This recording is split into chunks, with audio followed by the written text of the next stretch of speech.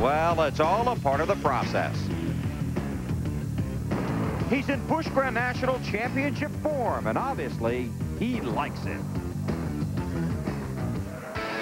Well, one week ago, Dale Earnhardt Jr. got beat, probably by himself.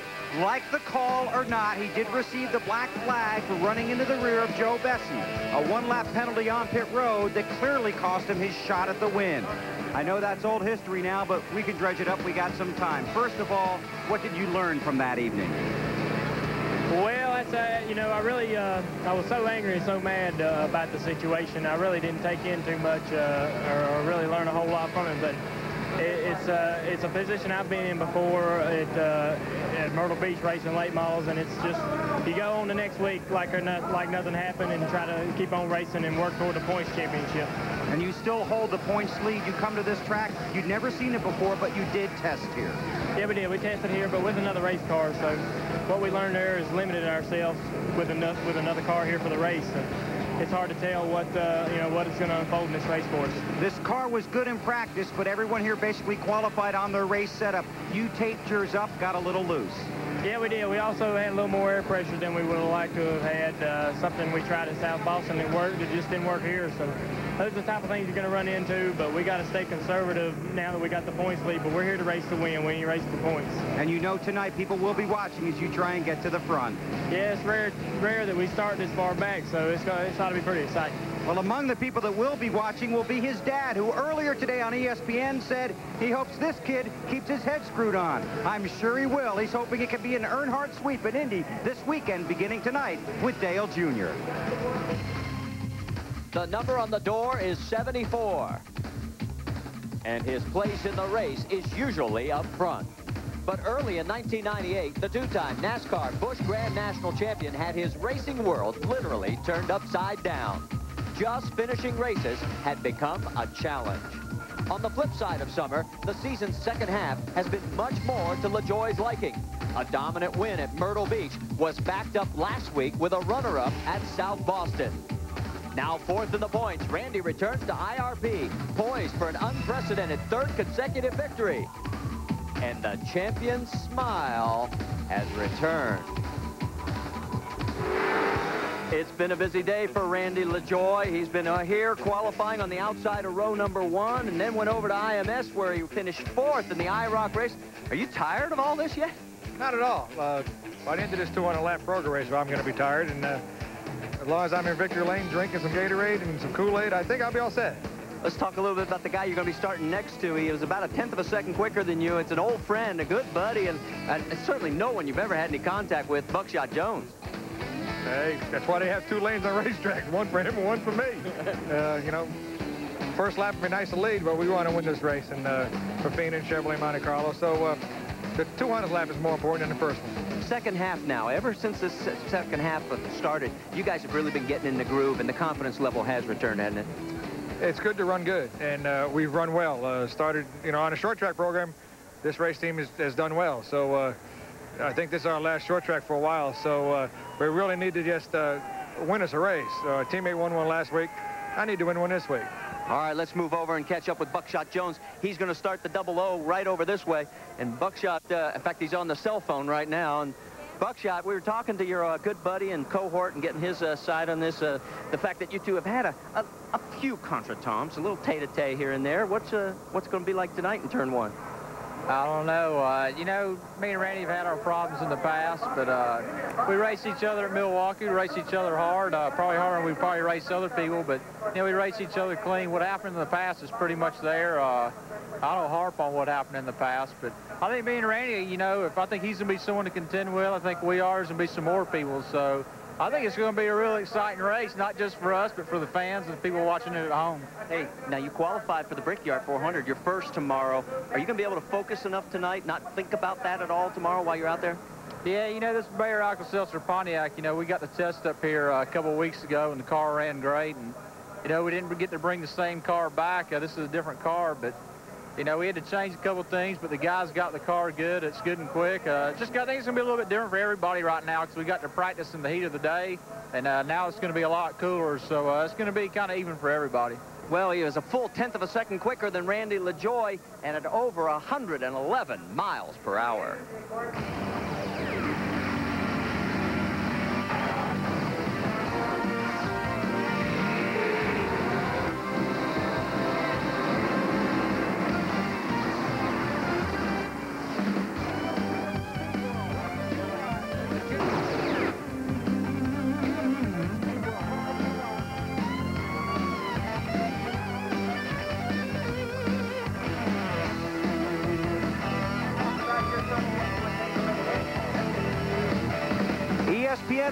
You to Indianapolis Raceway Park, the site of tonight's NASCAR Busch Grand National Kroger 200.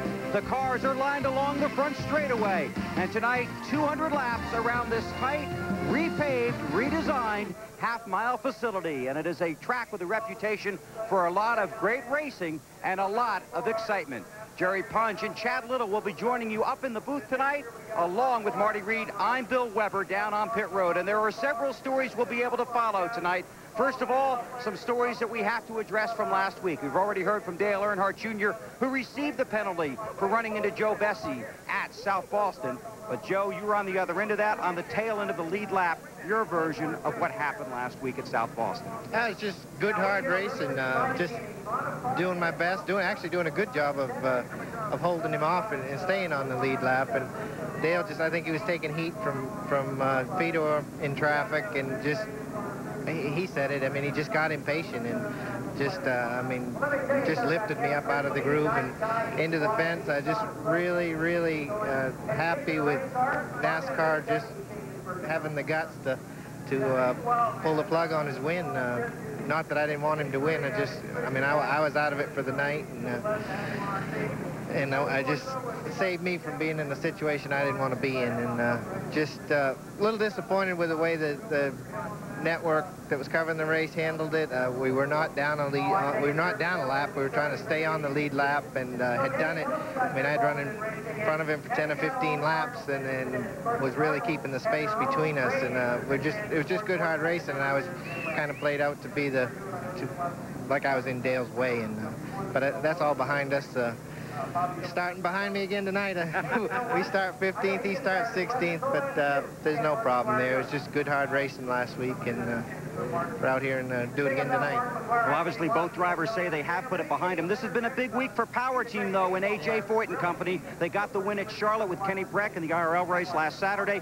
You expect to see A.J. here tonight, and you'd like to put forth another great performance. Yeah, so proud of those guys. That we sat in the parking lot at South Boston last uh, Saturday night in the motorhome and watched the whole race, and just really happy for Kenny and A.J. and that whole Power Team team. And for us to win a, a Busch race for him last year, and now AJ winning an IRL race for him, uh, they're just really making a statement in this uh, sport with sponsoring both teams on, on, each side of the fence, and it just it's been great for them, and it's been great for everybody involved. Good luck tonight. Thank you. That's Joe Bessey. He starts in the middle of the pack, but one guy who had a great qualifying run that starts near the front is Elliott Sadler, and he's with Marty Reid. Uh, that's right. I'm standing with Elliott Sadler. He has a little record that he can set tonight, but before we uh, talk about that, we should point out reason why we aren't with the helmets on and going racing. We had a support race uh, just a few hours ago, and one of the cars got upside down, cracked a hole in one of the walls on the front straightaway.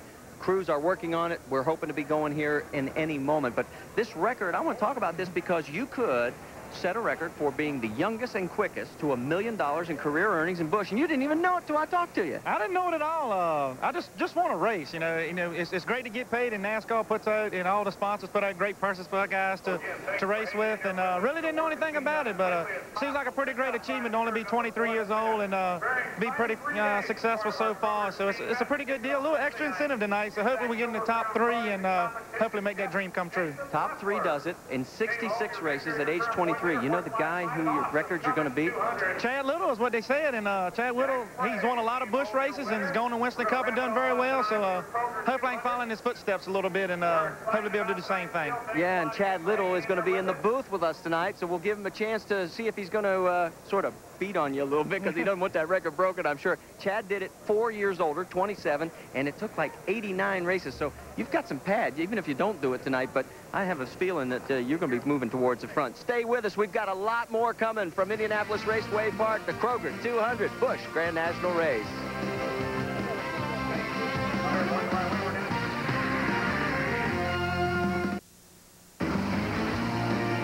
ESPN coverage of the NASCAR Busch Grand National Series Kroger 200 is being brought to you by ESPN Video. Get your officially licensed NASCAR videos from ESPN Video. By Suzuki, makers of fine motorcycles and ATVs. And by Texaco, a world of energy.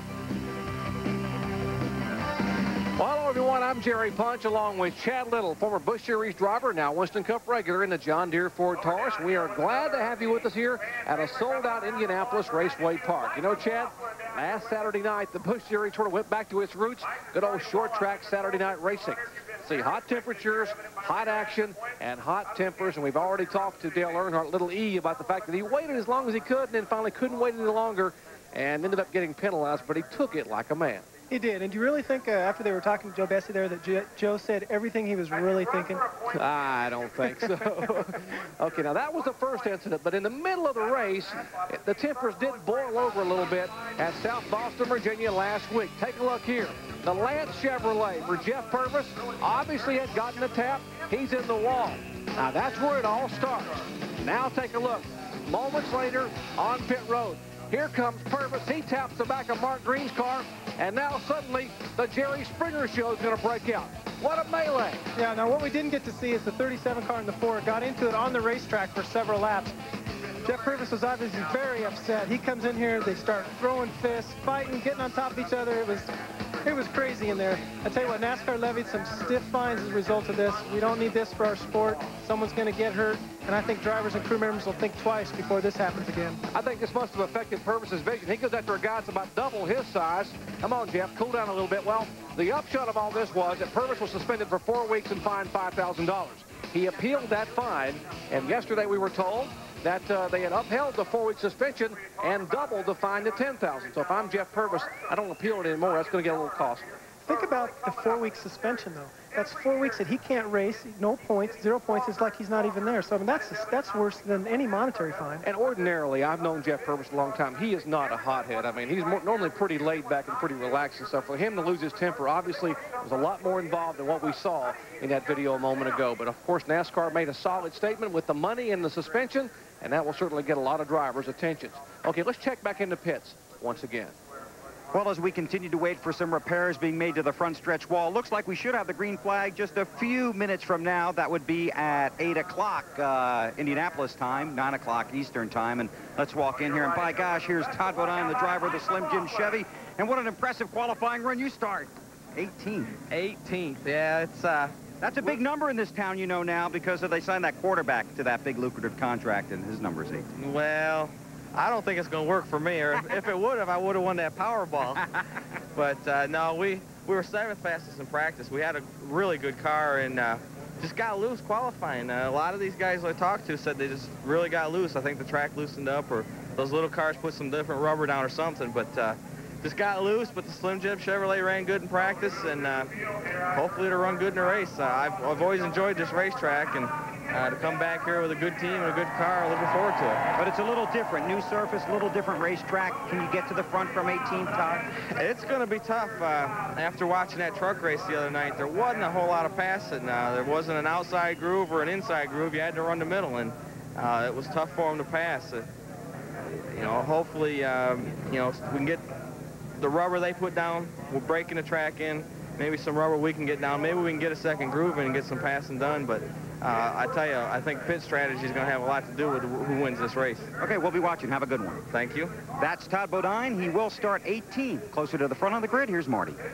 Yes, up at the seventh starting spot will be Ken Schrader's uh, number one driver in the Truck Series. Also tonight in the Oakwood Home Chevy, uh, Mike Wallace. And last time we saw you last night was Another one of those misfortunes. You had bad luck. You were running good in the truck race. You get a reprieve chance tonight.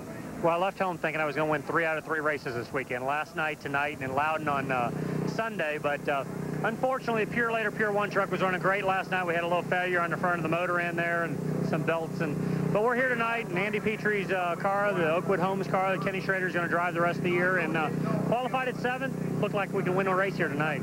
Last time you won a Busch race was here, August, I think, what, 95? 94. 94? Oh, well. well. We'll take 95. We'll take 90, 98, too, now. So, uh, no, there's a huge crowd here. I mean, it's a wonderful night, a lot of atmosphere. Little delayed because of the wall problem there from a previous race, but we're looking forward to a great race.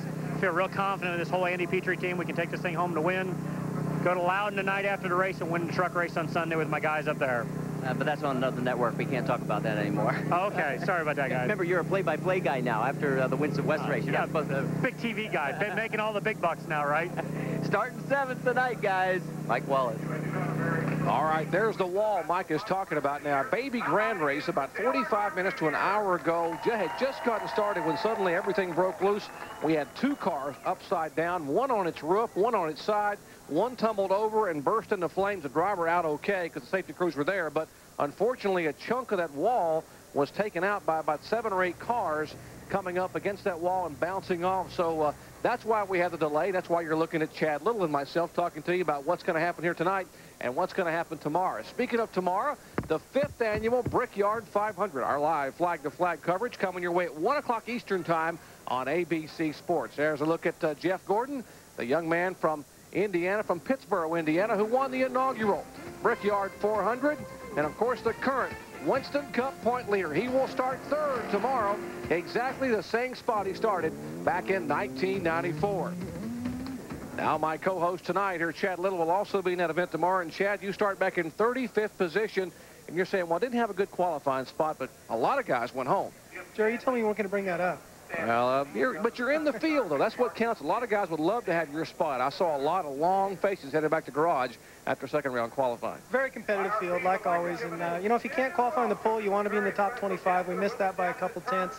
We had a great practice and happy hour. That's what's important. So we feel we have a good car for the race. And, you know, it's my second Brickyard race, and what's important is we're there, and uh, we're going to get a good showing for John Deere uh, come tomorrow. Indeed, and I watched you in happy hour today. You guys ran better and better and better in happy hour. Jeff Hammond getting the car dialed in there for you a little bit. A lot of guys starting toward the back said they're going to be able to make their move early. We saw Jeff Burton getting stronger. Earnhardt's back there in 28 spots, so maybe you can hook on and you guys can all sort of sail toward the front.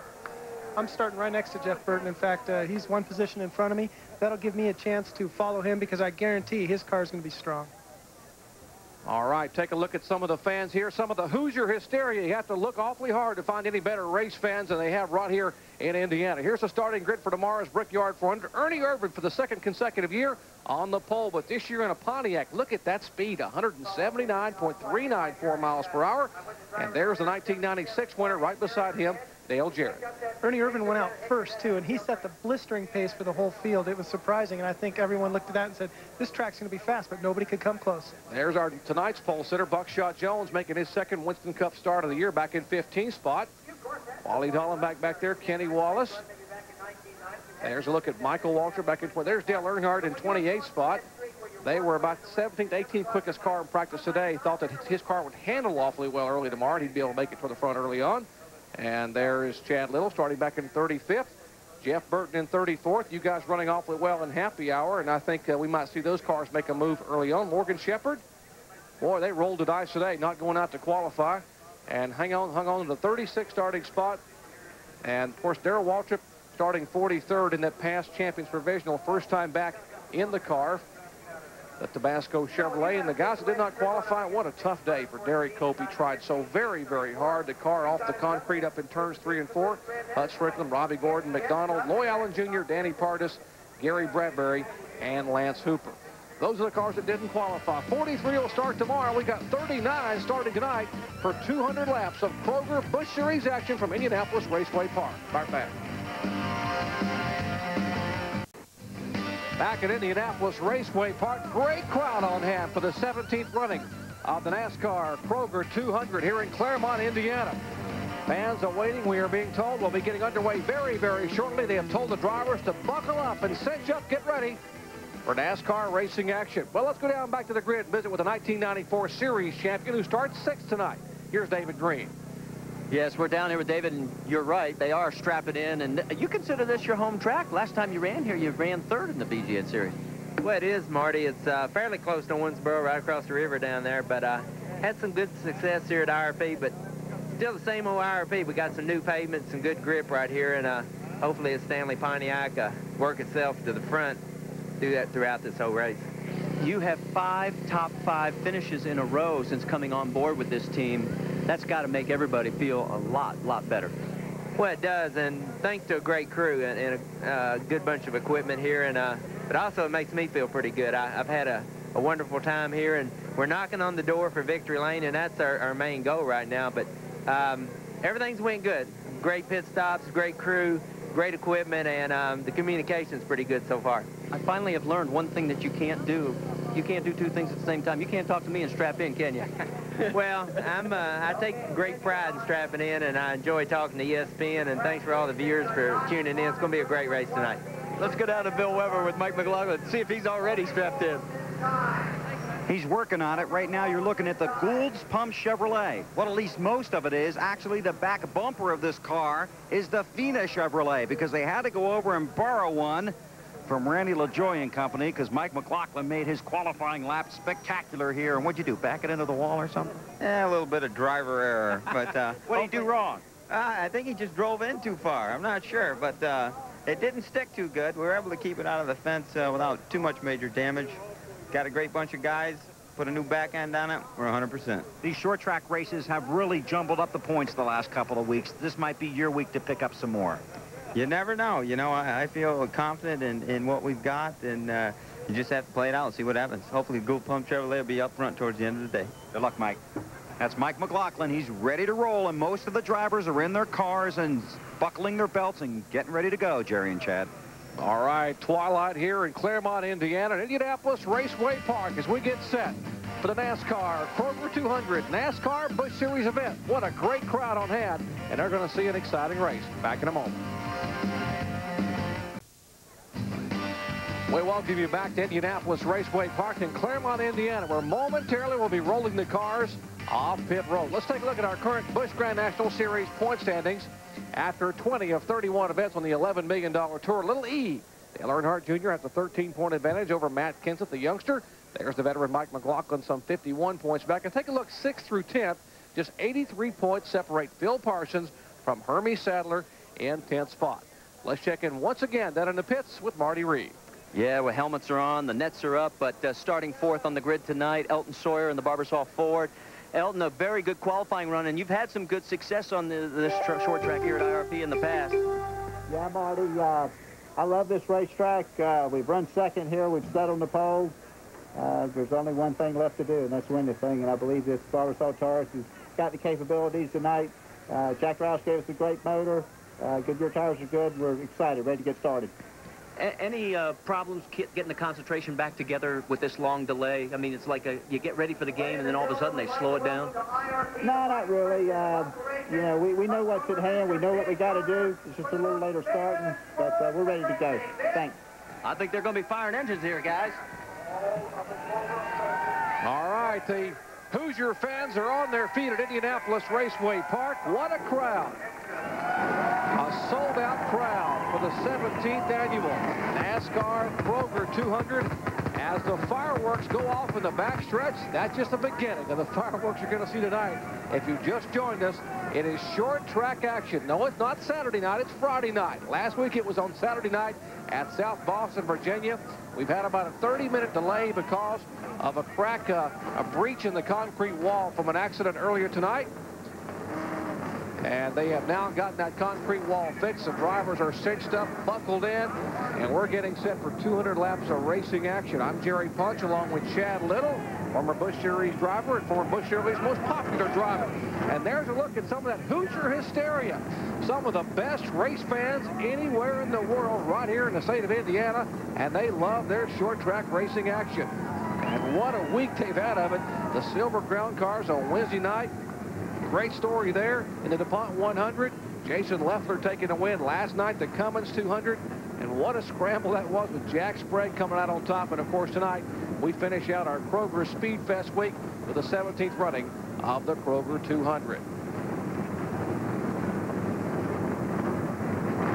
Wheel lining up on pit road. 39 cars will start on this point 686 mile facility. Brand new pavement here for the first time in 37 years. They have paved this track. The track opened in June of 1961. The supervised paving job back then by a man named Clarence Cagle, a legendary man when it comes to paving. He was over at Indianapolis Motor Speedway. They brought him back in here in the spring of this year to supervise the repaving of this facility, and what a job they have done.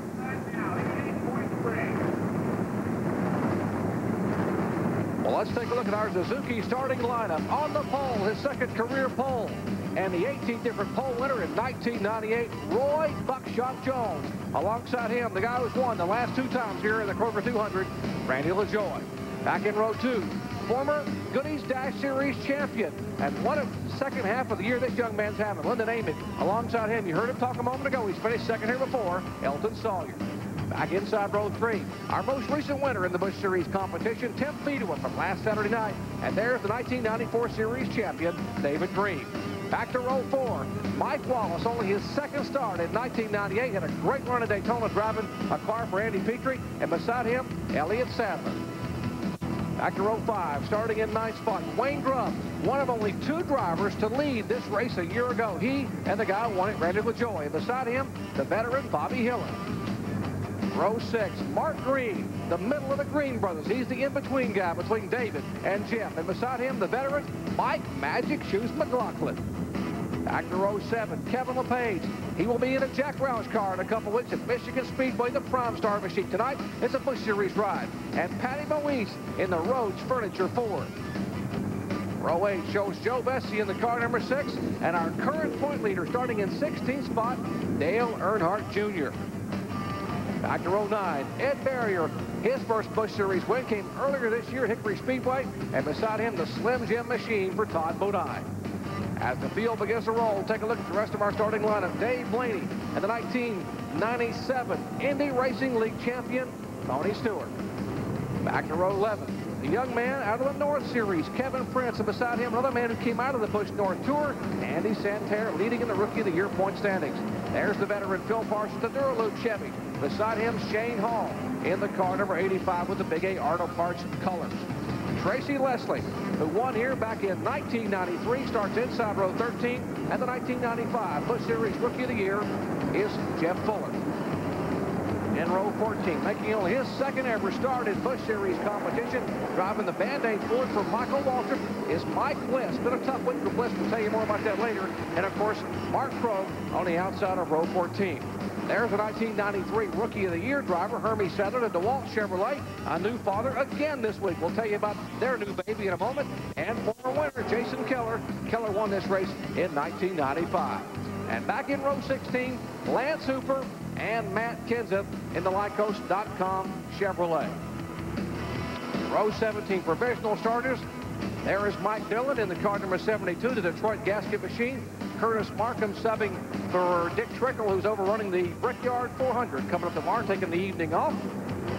In the Dennis Shoemaker machine, there is Matt Hunter in the car number four. And Glenn Allen Jr., the 1996 Rookie of the Year, another one of our provisional starters. The car number 59, that is ASA rookie sensation Jimmie Johnson, making his Busch Series debut in the Kingsford Charcoal Chevy for Tad Geschickter and Jeff Krogh beside him in row 19. And rounding out the field in row 20, the car number 50 is Dave Rezendes. Let's check into the pits once again with Bill Weber. Well, Jerry, as you know, the short track season in the NASCAR Busch Series goes on for several weeks, and it has really shaken up the points in the last several races. Tonight, the guy that has perhaps the biggest hurdle to overcome is Matt Kenseth. He was the last guy to get into this field on speed. He starts 32nd. He also has to battle his way back up in the points. He is second right now, just 13 behind Earnhardt, but he has a long way to go to catch Earnhardt, and even a longer way to get to the front. Further down pit road, here's Marty Reid. Thanks, Bill. Momentary scare for Buckshot Jones, our pole sitter, just as he was pulling out onto the track. Uh, the fire in the uh, car went away. He got it refired, and he is okay. Crew says nothing wrong.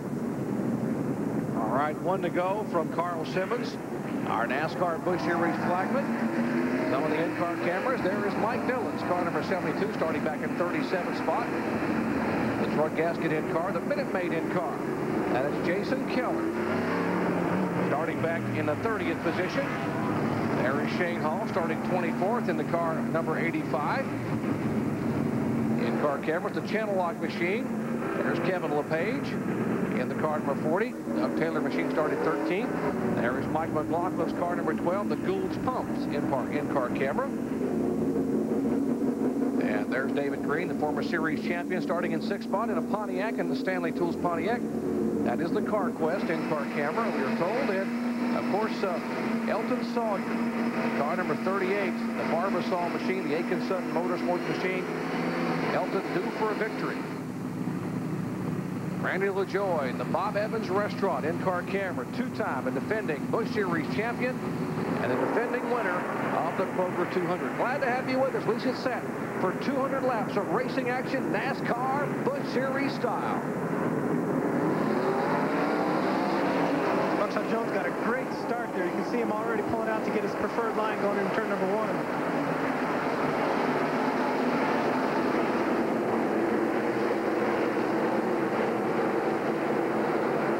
Since they paved IRP now, the cars will probably be able to run a little bit lower than they have in the past. When I was racing here just a couple years ago, the only line that you could dare run on was up high against the wall. I noticed in the truck race just last night, they were able to run down low, and that was a result of the new pavement. Buckshot Jones leads the first time by. They have 48 feet of width to race on here with this new graduated pavement. Hemi Fedewa gets the car a little bit out of shape. There is Lyndon Amick in the car number 35 on the bottom, and Buckshot is just moving away.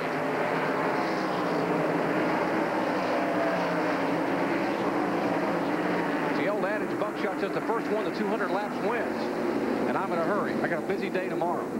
200 laps will go faster, too, if there's no cautions. If there's no cautions. Side-by-side action, teammates Fedewa and LaJoie, both of them driving for BACE Motorsports. And Bill Gardner out of turn four. It'll be, boy, that's the way they finished last week at South Boston. Fedewa won the race, and LaJoie finished second.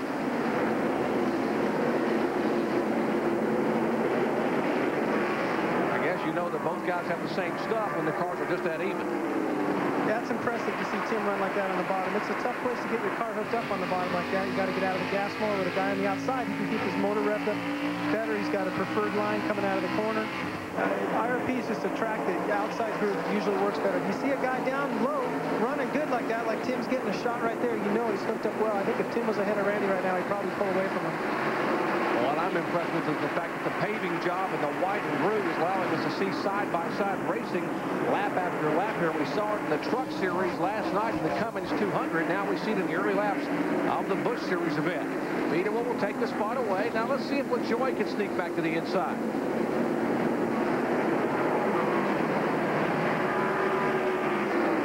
Machine for Tim Fedewa, two-time winner here in 1998, and he pulls away somewhat from LaJoie.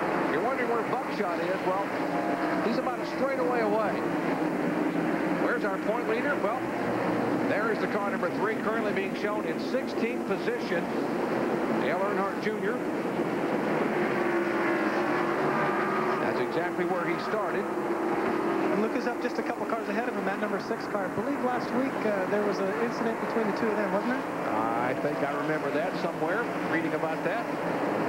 There is Ed Berrier. Jimmy Means prepared car, number 77. He's in between them in 15th spot. Bill Weber wasn't kidding when he said Big E, Earnhardt, had uh, served notice the little guy to use his head tonight, keep his head screwed on. I think he's being very, very patient early on.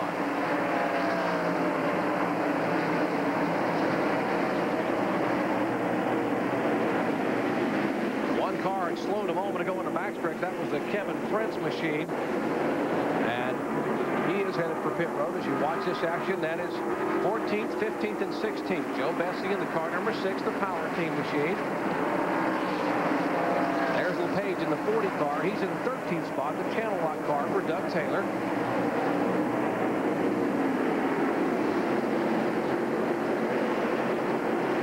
Well, there's Timmy Fedewa, our our most recent winner in Busch Series competition. And there's the guy they're all chasing in the double zero, the Alka-Seltzer Pontiac for Roy Buckshot Jones, our leader here in the early laps at Indianapolis Raceway Park. Back with more live Busch Series action in a moment. Indianapolis Raceway Park. 27-year-old Buckshot Jones taking the Alka-Seltzer Pontiac, giving a lot of upset stomachs to the guys behind him because he is absolutely pulling away. Now, the closest guy to him is our most recent winner in Busch competition. That would be the Kleenex machine of Timmy Fedewa. There is Buckshot in the Bayer car. And about a straightaway back was Fedewa. Now, here's a lot of racing action Back in the pack, side-by-side -side action. The 36 car, the Stanley machine of David Green, trying to make a move inside of Elton Sawyer, and he will get the position. Take a look at our field summary. The number in parentheses is where these cars started. David Green started sixth, currently in seventh spot. Mike Wallace moved up a spot from seventh to sixth in the Oakwood Homes Chevrolet.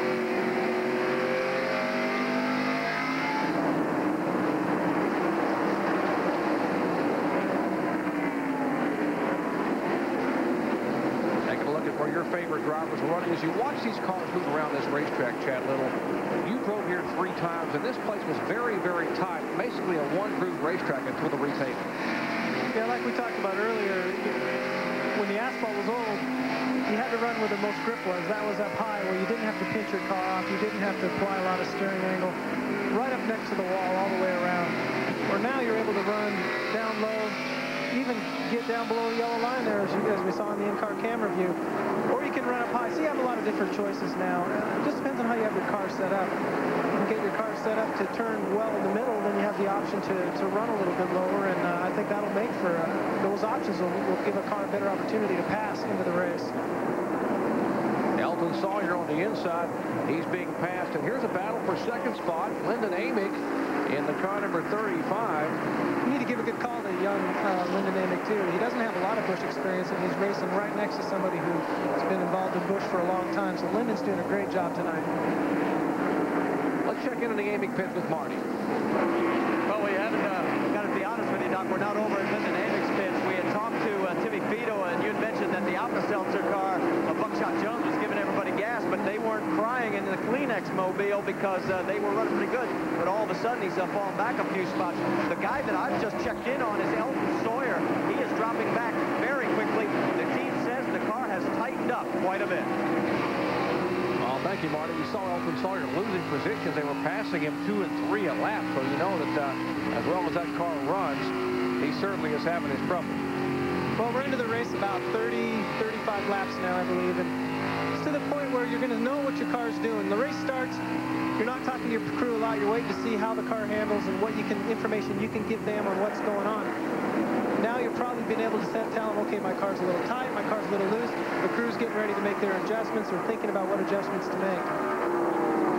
All right, here's a look at Dale Earnhardt in the AC Delco Chevrolet. He is now being shown in a left spot. McLaughlin behind him in the 34 car back in 12. Earnhardt making a move on Mark Green in the Timberwolf machine. Clarence Brewer on car. That is the car directly in front of Earnhardt. Now, he is being very, very, very patient early on. And I'm sure they preached a lot of patience to this young man, knowing he had a pretty good race car. Let's see if he can make the pass on the inside. Pulls it down almost effortlessly and right underneath Mark Green.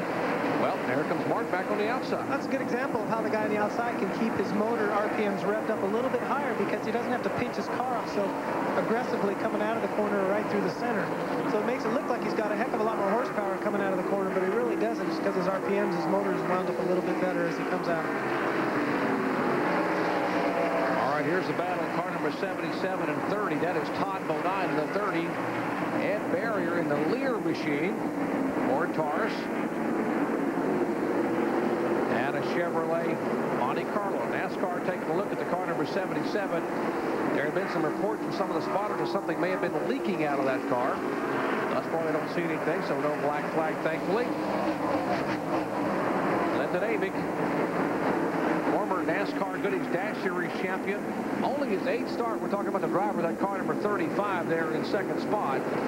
Only his eighth start here in 1998. Had a fourth at Myrtle Beach and a ninth at South Boston in his last two outings. This young man has really come on. You know, might be wondering why we're talking about second and just showing second place there.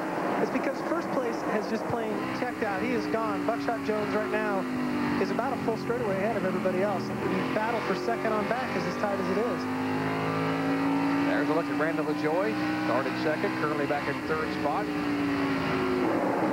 Consecutive poles here at IRP, two consecutive wins. Dominated last year.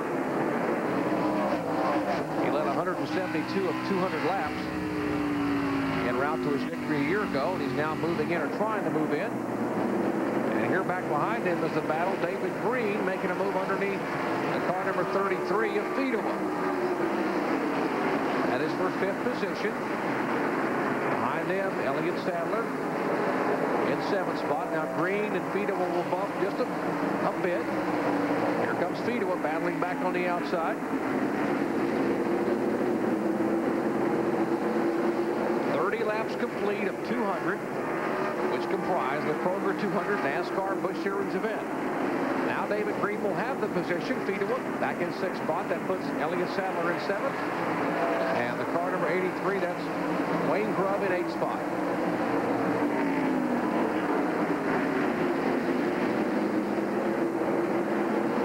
There's Dale Earnhardt Jr. now. He will battle for position. That will be for the ninth spot. Trying to make a move under Bobby Hillin. That's the clean shower Chevy for Hillin. As our leader now begins to pull up on some lap traffic. The double zero, the Bayer Alka Seltzer Pontiac of Roy Buckshot works heavy traffic. We'll work a break. Back in just a moment.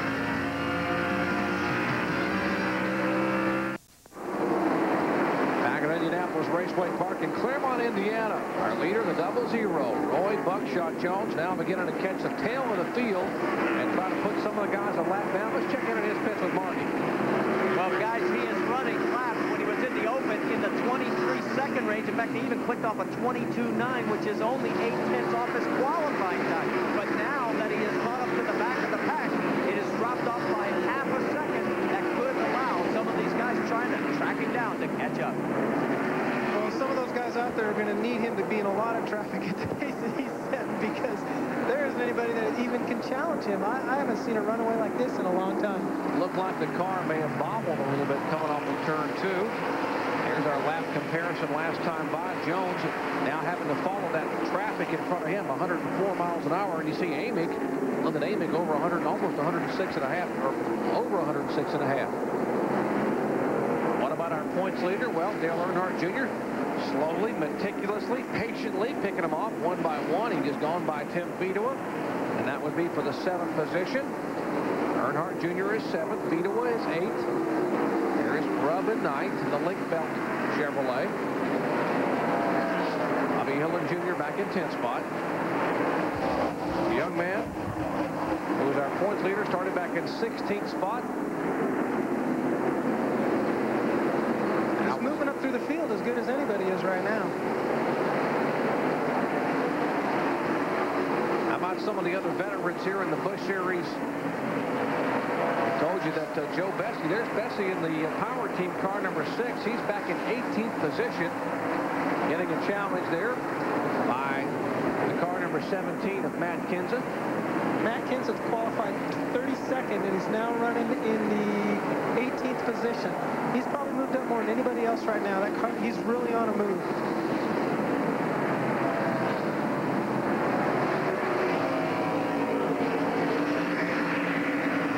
Sad, we've had the advantage of watching Matt come through the field here, and he's patiently picked off these cars. Now, you know how frustrating it can be as a driver to have to qualify on your race setup, but apparently their race setup must have been pretty good. It didn't help in qualifying, but it's working extremely well here, don't you think? For Matt to have gone through that much traffic in 35 or 40 laps, he has got a great race set, setup underneath that car. He's had to race cars, you know, high and low. Uh, he hasn't had the benefit of having a wide open track, so he's really hooked up. We'll have to wait and see later on in the race, but I think when uh, when things settle down, we're going to see the 17 car uh, up there in the front. All right, pretty good battle here between Wayne Grubb and the car number 83. As he is side by side with. Wayne Grubb, who was our pole sitter up in Richmond, Virginia earlier in the year, had a great run, set on the pole and finished fourth. Young man just 21 years of age. A lot of talent there in the Grubb family. Wayne and Kevin, the brothers. Riding along with a Channellock in-car camera on board. That is Kevin LePage and Doug Taylor's car number 40. Kevin being shown in 14th position currently. Take a look at our field summary.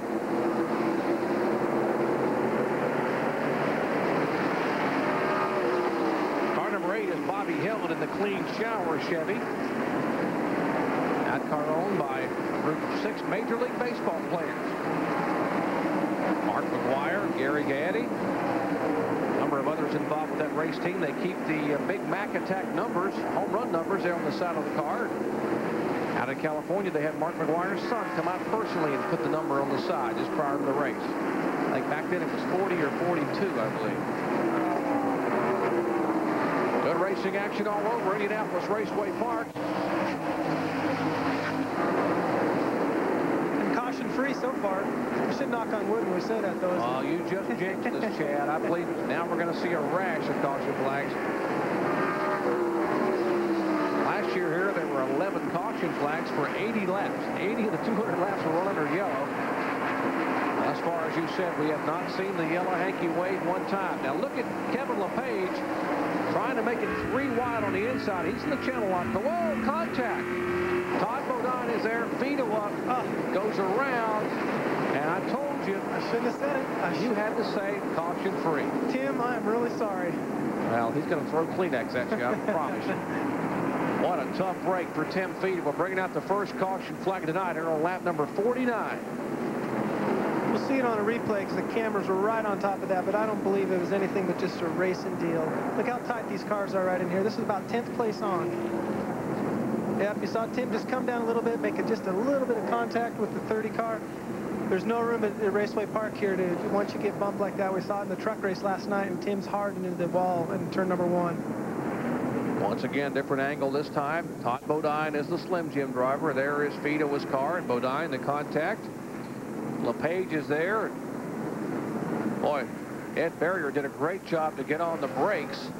Not to run into the back of Fedewa's car to spun around at all. Look at there. Heavy, heavy damage for Tim Fedewa. He was fifth in the point standings coming into the night. Just 89 points behind LaJoie. Here's our leader on pit road, and Marty Reid is there. Yes, guys, and it's a perfect timing for this yellow. We were wondering why he was having trouble getting around some of this uh, slower traffic. He was reporting that it was getting tight from the center out. And you can see that they're going to take a turn, a wedge out, one full turn. And Phil Weber, what's happening at your end?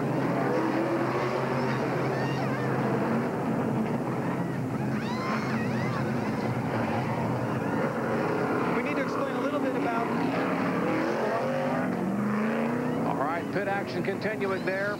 On the first caution flag today, there is Buckshot's crew, having completed their service on the Bear. There is Randy LaJoie exiting pit road behind the Mike McLaughlin car. Made a significant chassis adjustment on Buckshot's car. You got to wonder, as well as that car was running, why you would want to touch it. But I guess they want to get just a little bit better. Working the first caution flag of the night. at Indianapolis Raceway Park due to a spin by Tim Fedewa. Back with more in a moment. Welcome back to Indianapolis Raceway Park in Clermont, Indiana. Working the first caution flag tonight. There's a look at the guy who's dominated the first 52 laps. Now, what happened to bring out the yellow? We'll show you once again. Take a look left side of your screen. In the, or Tim Fedewa was on the outside there with Todd on the inside. You can see they just got together going into turn one, and Fedewa slams into the outside wall uh, pretty darn hard. He's okay though, and um, uh, the car's not. It's going to be a short night for him, but just a racing deal right there. It's, it's hard to say whose fault it is. All right, take a listen. Real time. Boom. Ouch. Well, the green flag waves once again. As his crew will work on that car, we'll try to get a comment from him just momentarily as we go back to green flag racing. Lyndon Amick in the car number 35 being shown as our leader here.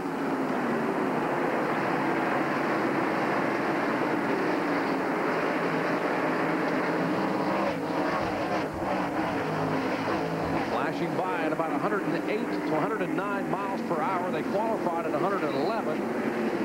There's a look at the SCANA Myrtle Beach, South Carolina Tourism Pontiac. For Lyndon Amick. They shuffle up back for third spot. This is the first time ever for young Lyndon Amick uh, to lead a Busch Series race, too. We talked about earlier that uh, he's doing so well for, for a young driver and not, not a lot of uh, Busch Grand National starts. So this is the first time he's ever led. So hopefully, hopefully he's putting it all out of his mind and um, just thinking about uh, what's going on there and uh, not, a, not the fact that, hey, this is the first time I've ever led a Busch race. Oh, he's got to be thinking about this is this is this is great. There's Mike Wallace making a move on Bobby Hillin in the car number eight. Wallace the 15, the Oakwood Homes car. Down on the inside. Last time Wallace ran here at Indianapolis Raceway Park, he won the race in 1994. Only his second start in the Busch Series. Normally, of course, as you heard Marty say earlier, he drives in the Craftsman Truck Series. Here later, Pier 1 filter machine for Kenny Schrader. Oh, he was a little bit loose. He gathered it back in. That's our tread cam buried in the asphalt. And that gives you chills. If you have nightmares, it's not our fault. Cars coming right over you. The tread cam. Elliott Sadler in second. Hillin is third. Wallace is fourth. David Green fifth in the car number 36. There is Green. Stanley Tools onboard camera. Boy, what a run Green has had since coming into the Busch Series, coming back to the Busch Series. Here is the power team machine, the Chevy of Joe Bessey sliding off the turn. That's turn number two there, coming off of turn number two against the inside wall on the back straightaway. Now we'll bring out caution for the second time here on lap 59. G metal damage on the left side of Bessey's machine. There is the car number 44 of Tony Stewart. In the Shell Pontiac, Joe Gibbs' own car. Damage to the rear of that machine. We'll try to find out what happened and why the six car spun out there, but uh, See if we can see what happened again here. This was over in turn two.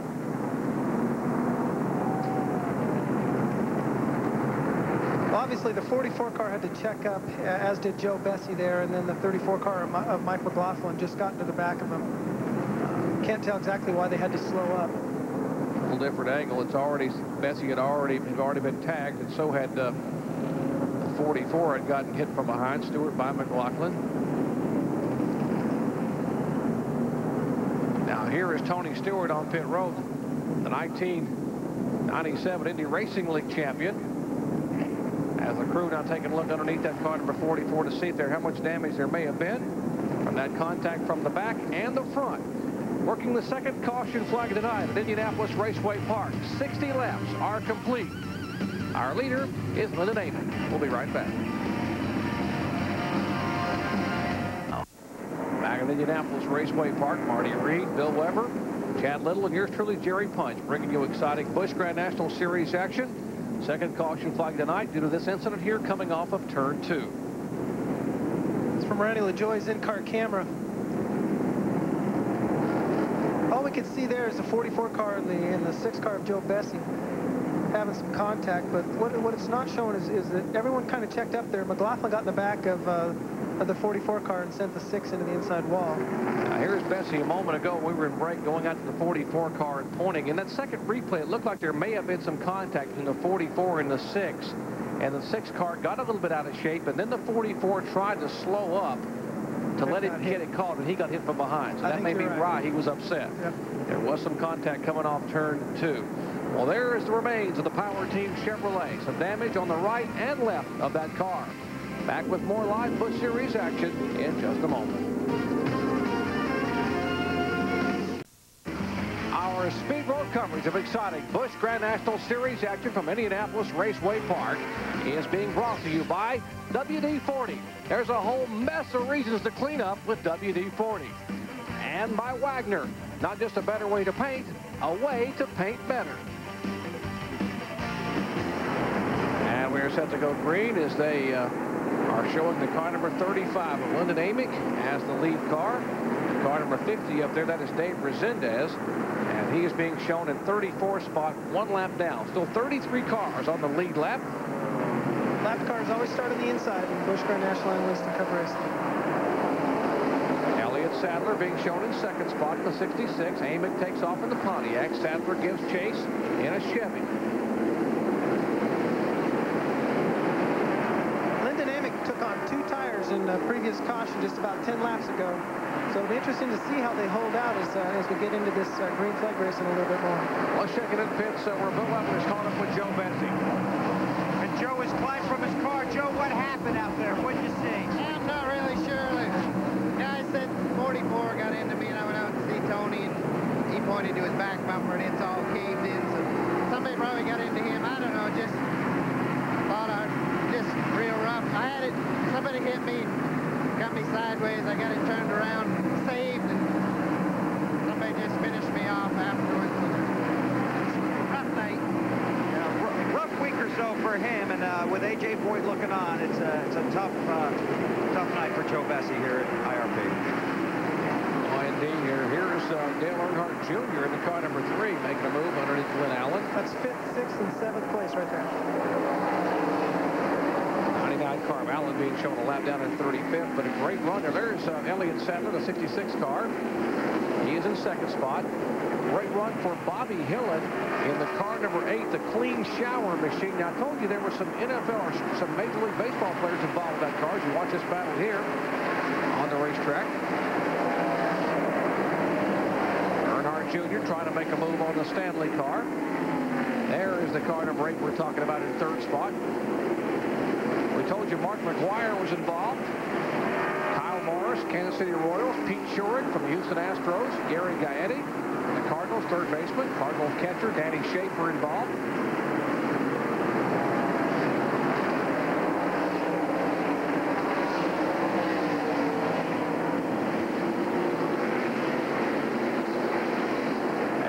Number 83 to right along the Channel One car. Making a move inside of the Duralube Chevy. Kevin LePage here battling for position. That's for 21st and 22nd spot. Here is David Green in the 36 car. That he is in fifth position. And getting a challenge on the outside by the AC Delco Chevy. And Earnhardt will have the line off of turn two.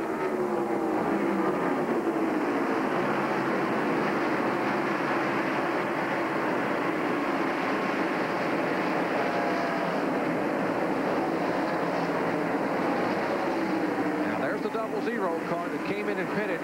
He dominated the first 49 laps of this race prior to the first caution coming out. When he pitted and got back by virtue of that four tire change back in the traffic. Now he's making a move on the car number 83 of Wayne Grubb.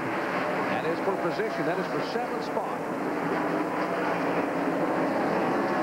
Buckshot didn't have necessarily that bad of a pit stop. It's just that a few of the cars in front of him just took on two tires, where Buckshot and Earnhardt Jr. elected to take on four. Now there is a tire rule here at Indianapolis Raceway Park under short track conditions for the Busch Series. Right, in a lot of the Busch Series races, there is a tire rule. Today's is two sets of tires under caution. You can come in under green and take on as many as you want, but under caution, you can only you're only allowed two sets.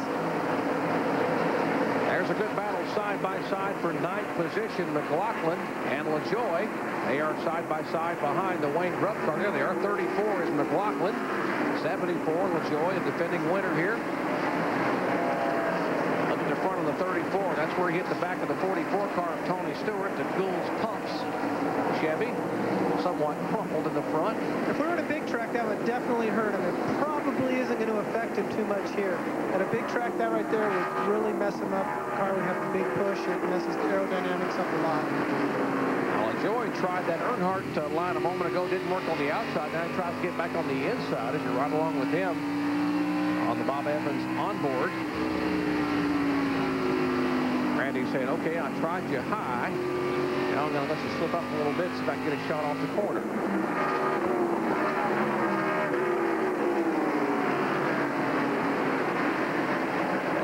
Field summary showing you Lyndon Amick.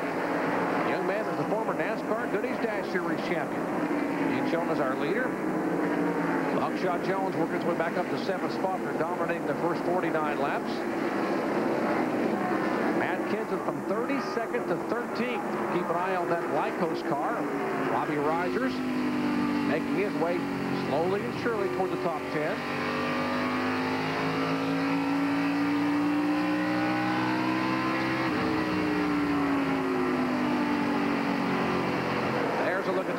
17, a two-time winner here in 1998. We're talking about Matt Kenseth. Won at Rockingham early in the year. And, of course, won out at Pikes Peak on the beautiful one mile out there just south of Colorado Springs. Didn't qualify well tonight, but his car is really hooked up for the race, and he's moving up well. That's Hermie Sadler right in front of him in the DeWalt Chevrolet. Hermie's had a fairly eventful week.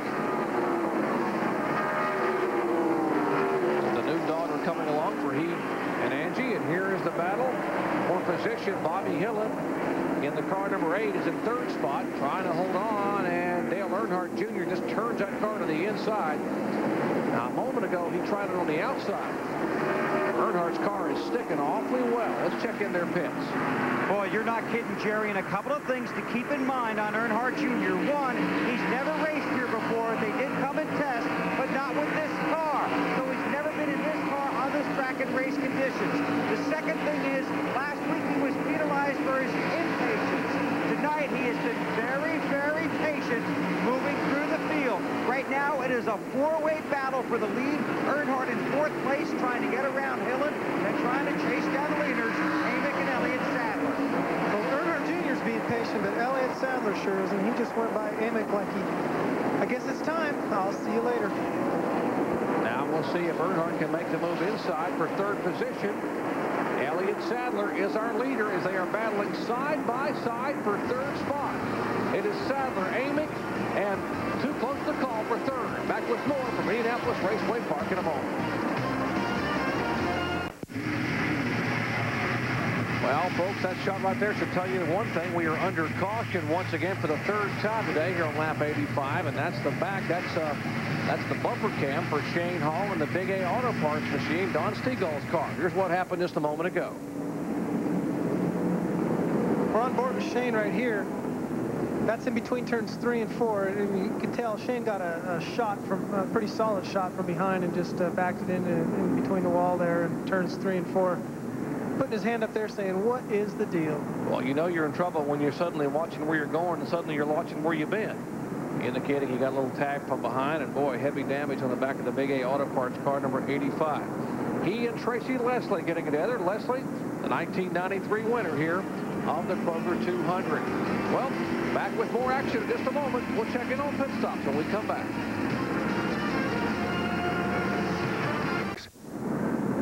At Indianapolis Raceway Park working the third caution flag of the day. There's a leader, Elliott Sadler, the TropArtic Chevrolet. Fourth race he's led in 1998. One of the cars that pitted a moment ago, Marty Reid, was this car right here, the 38 of Elton Sawyer. Boy, and Doc, they have had their hands full on the Barbasol Ford. Elton was reporting that the car felt like it either had a sway bar that was broken or a shock. They got in underneath it said, no, there's no problem. But they think that the ratchet that they use in there locked up, and that's what's creating the problem. He's 20th right now. All right, thank you, Marty. We'll keep an eye on that. Possibly a ratchet problem, maybe a sway bar problem the 38. Elliott Sadler last led at Texas Motor Speedway back in April of this year. Fourth race he's led for the year. Lyndon Amick right behind him in a Pontiac. Bobby Hillin running awfully strong in the clean shower, car number eight. I believe the first three cars there all took on two tires on the um, a couple cautions ago. So we're back to Earnhardt fourth, the first car that took on four tires. It's surprising to see those guys still running so strong and just taking on two tires. I heard that one of the truck drivers that ran real strong last night ran all 200 laps without taking on left sides. As we see the... I didn't mean to jump in on you, Chad, there, but uh, Mike McLaughlin, get a little dirt track in there. They're battling for eighth spot, and he got the car about 30 degrees out of shape and gathered it back in. It's not over yet. There's Wayne Grubb in the link belt car. Matt Kenseth is there. LaJoie is there with the onboard. There's the 17 car to the right side. All right, a challenge for second spot. Here is Hillin looking to the inside of Amick. Amick slides up a little bit, and Chad, Hillin may have a shot. Whoa, a huge crash on the backstretch. Folks, you guys see what we do. Uh, don't know what caused it yet, uh, but you can tell there's cars everywhere, debris all over the place. There's the Phil Parsons car. Mark Green is involved. The four, that is Matt Hutter. Debris all over the back straightaway as the, now the leaders will work their way through and try to slow down. Carl Simmons feverishly waving the caution flag back here at the start-finish line. That brings out the fourth caution flag today here on lap number 92. You see the NASCAR official down there waving the red flag. That's the flag that says whether the pits are open or not. Oh, there is the Duralube Chevy for Phil Parsons. See if we can see what happened.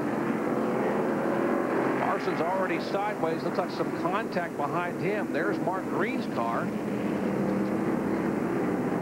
And then Mark Green slides backwards, blocked the track, and that's where it all, um, that's when it got real dirty. Curtis Markham trying to get by on the inside. He ends up getting involved. Here's real time.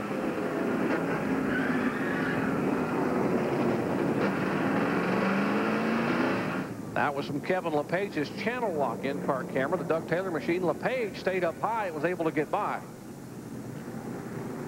Now, there's all that debris on the backstretch. We would imagine that most of the guys who only took on two tires before would want to pit. pit. Here's the car number 37. That is Mark Green as they are running along beside the car. Crew now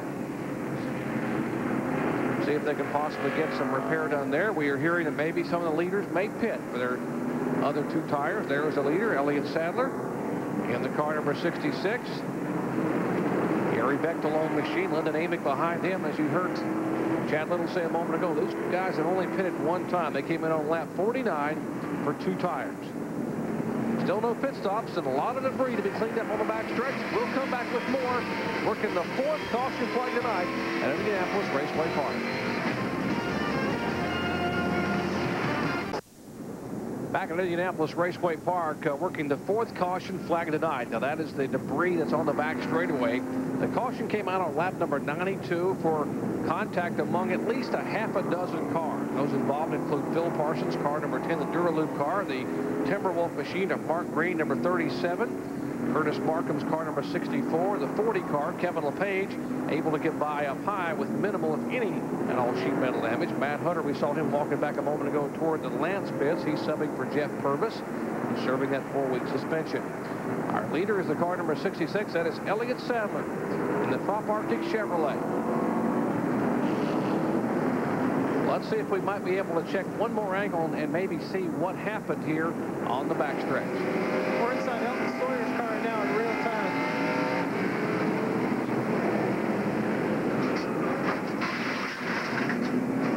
Good sound effects there. Right, different angle looking up the backstretch. Mike Bliss able to scoot by in the Band-Aid car. Look at Green. He gets up on the right front fender of Curtis Markham's car, the Snyder trucking machine. There's Lance Hooper going by. Oh, heavy damage on Phil Parsons' Duralube machine. Phil Parsons came in sixth in the point standings. As we check in once again with Marty Reid. Well, an update on Elliott Sadler. Remember, he only put right side tires on, and uh, if you remember last night's truck race, uh, Jack Sprague went the entire distance with the first set of the left side. So it'll be interesting to see if any of the teams decide to try that same strategy here in the Busch Series tonight. But uh, so far, it looks like it's going to be follow the leader. If Sadler ducks into the pits, Amick's crew is ready. They pit side by side, but uh, it looks like they're going to stay out one more time, guys. And lights are out in the pace car.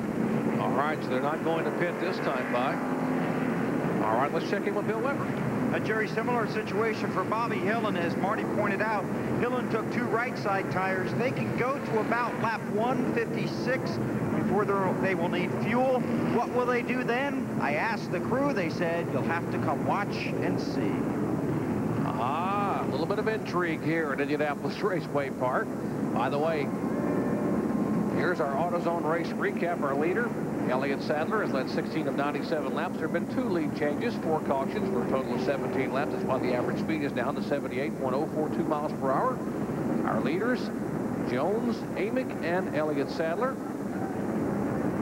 Off the track, there are the cars involved. Mark Green, Parsons, Hutter, Bessey, and Fedewa, along with the entries of Hall and Prince that are out of the race. All right, still cleaning up some of the debris in the backstretch. Uh, let's check in with Bill. I think he's caught up with Phil Parsons. And Phil, all we could see was smoke. What happened back there? Well, the 37 car raced me back to the flag on a caution, which we're not supposed to do, and I got him in front of me. I was trying to get by him on the inside coming off two, and we got together and around we went. We would have been okay, and then uh, four car, I'm sure there was a bunch of smoke and stuff, and he ran right in, you know, hit us head on. So quite a bit of damage. I don't know if we can get the Duraloop Chevy back out or not, but we'll give it a try. Okay, that's Phil Parsons. Looks like uh, they'll try and get it back out, but it could be a lot of work for their crew tonight. Oh, indeed. Now, I told you he came in tonight in sixth in the point standings. Tim Fedewa came in in fifth, and both those cars have had trouble and are heavily damaged. Back with more. We're under caution at Indianapolis Raceway Park. Back in Indianapolis, Lyndon Amick had to come in. They needed a four-tire change because, guys, he was reporting a vibration in the right front. They're looking at the tires now. They think they've got it fixed. There's the car number 30 coming out, the Slim Jim machine of Todd Bodine. I think these guys at pit right now, we are, uh, will have the halfway point next time by. They may be set to go. Yeah, I think so too, Jerry, because, you know, uh, Elliott Sadler and Bobby Hillin haven't pitted yet. Uh, Lyndon hadn't pitted. They already showed that the cars that take on two tires aren't that bad and can run real competitive. We saw Earnhardt Jr. struggling to get around uh, uh, Bobby Hillin there. So now they've pitted. The guys that come in later are going to be behind them. Uh, you know, it could, it could turn out to be the move that wins them the race or, or you know, makes them have a great finish for tonight. Well, Butch Enders, before you saw him ripping off the hood on the Andy Santerre car, the guy, young man who leads the Rookie of the Year point standings, he comes scooting back down pit road. Trying to lose another lap. How about the car number 30, Bill, the Slim Jim machine? Well, Jerry, he came in and Todd Bodine got left side tires and they took a spring rubber out of the right front. So a lot of different strategies down here.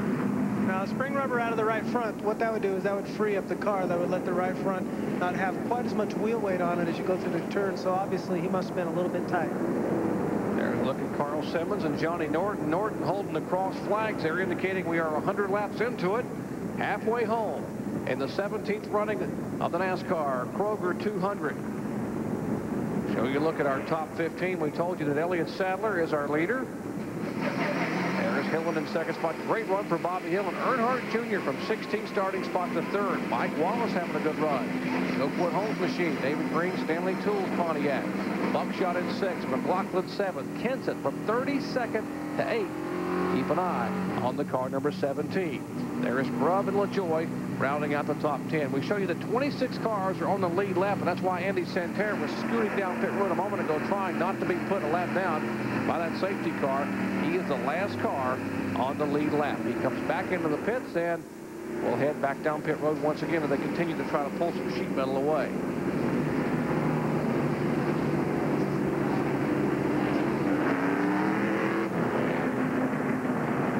Still trying to get the debris cleaned up.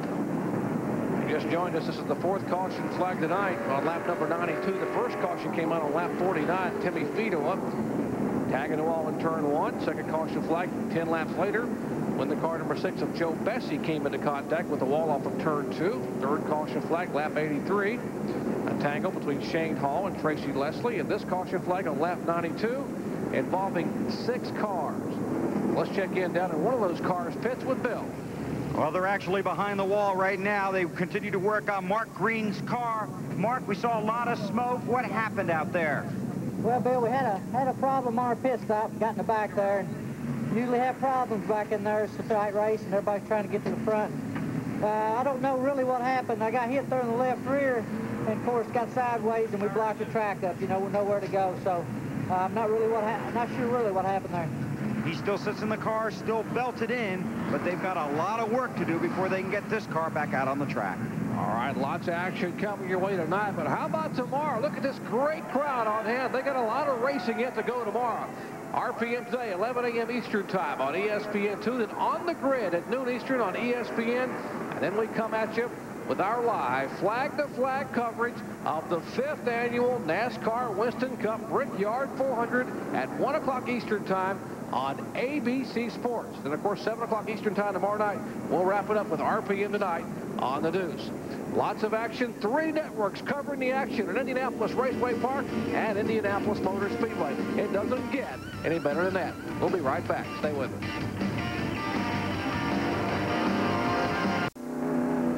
Back at Indianapolis Raceway Park in Clermont, Indiana. I'm Jerry Punch along with Chad Little, Marty Reid, and of course, no, that's not Bill Weber, that's the moon. But we do thank the moon to Bill, and here is Joe Bessey returning in the Power Team Chevrolet. Getting that car hammered out back on the racetrack for you Joe Bessey fans. And here is David Green Stanley Tools Pontiac. That is our CARQUEST in-car camera for David Green, being shown in fourth position. The 1994 Busch Grand National Series champion having a great run. Driving for Team 34, Frank Cicci and Scott and Jeff Welliver. Are on their feet.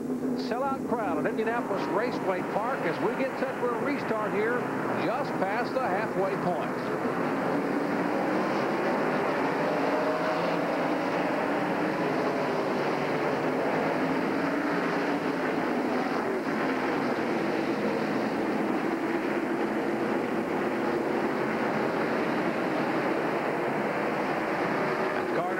On the inside is Dave Rezendes. Washington Erving Motorsports machine. And he is not on the lead lap. He is being shown a lap down. 26 spot. CARQUEST in-car camera for David Green. He looks to the inside, got the lap car. Rezendes in front of him, got Mike Wallace. As Green signals the car behind him, says, hey, thanks for letting me back in don't run into the back of me. I'm slowing up a little bit. That's buckshot. You guys use hand signals a lot, Chad. Oh, we use them as, as often as you can, especially to let the guy behind you know that the people in front of you are checking up. Everyone, you know, be cautious. I'm slowing down just a little bit. Waving hands indicate things for safety. Waving fingers indicate gesture. Yeah, every now and then we use the single finger gesture, which is a different deal. You're number one. I got you. All right, battle action up front. There is Sadler, the leader. Bobby Hillin in second spot. Dale Earnhardt Jr. just right about four inches away from Hillin's back bumper in the clean shower Chevy. There is Tracy Leslie, by the way, back out in the Lysol car.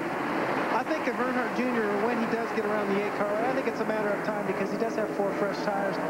He's probably going to be able to pull away from these guys. Uh, he's showing a lot of patience right now, uh, which might be a result of last weekend. It, it might be uh, some other reason, but uh, right now, I think he does have a faster car. He's got four fresh tires, and he's able to uh, just kind of sit back and, and, choose which line he wants to run. Well, points as of now, as we watch Earnhardt try to make a move inside of Hillin, there would be some significant changes. Buckshot Jones, he would jump three spots. So would Elliott Sadler with a great run. As you see Hillin now pulling back in front of Earnhardt off of turn two. Beat him up was involved in the first caution flag tonight. Some contact between he and the 30 car, Todd Bodine. He would lose two spots in the point standings. That's only if the race was over right now. Right now. That's points as of now. Great job by Bobby Hillin in the clean shower Chevrolet. Hillin's best finish this year coming at Dover, Delaware. He qualified third and finished second. Trying to equal or improve on that here tonight. Sadler the leader. It's a great battle for second spot. We mentioned the baseball players that, that are involved with the ownership in the car number eight. We told you Mark McGwire, they had the number, it's 45 right now, the number of home runs, the Mac Attack numbers. They keep changing it whenever he hits another eight home runs, so they have that on the back of the car. Right now they've got an AC Delco Chevrolet on the back of the car. Well, no, here comes Hillin. Jumps back in the throttle. Looks like Earnhardt's car may have slipped a little bit. Well, like we talked about, when you're down on the inside there, it's tough to get a lot of forward bite. You can get into the throttle, but your car just can't go right there because you've got to turn so aggressively. Here's a double zero and 36 car. They were battling for fifth spot. Buckshot's got it. How about a look out the back of the Gould's Pump Chevrolet for Mike Magic Shoes McLaughlin. That is Matt Kenseth from 32nd starting position. He's now being shown in the eighth spot.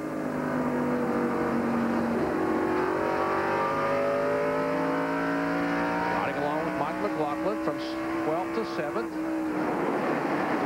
Once again, the battle for second spot. These fans have, many have not set out since they waved the restart on the green flag.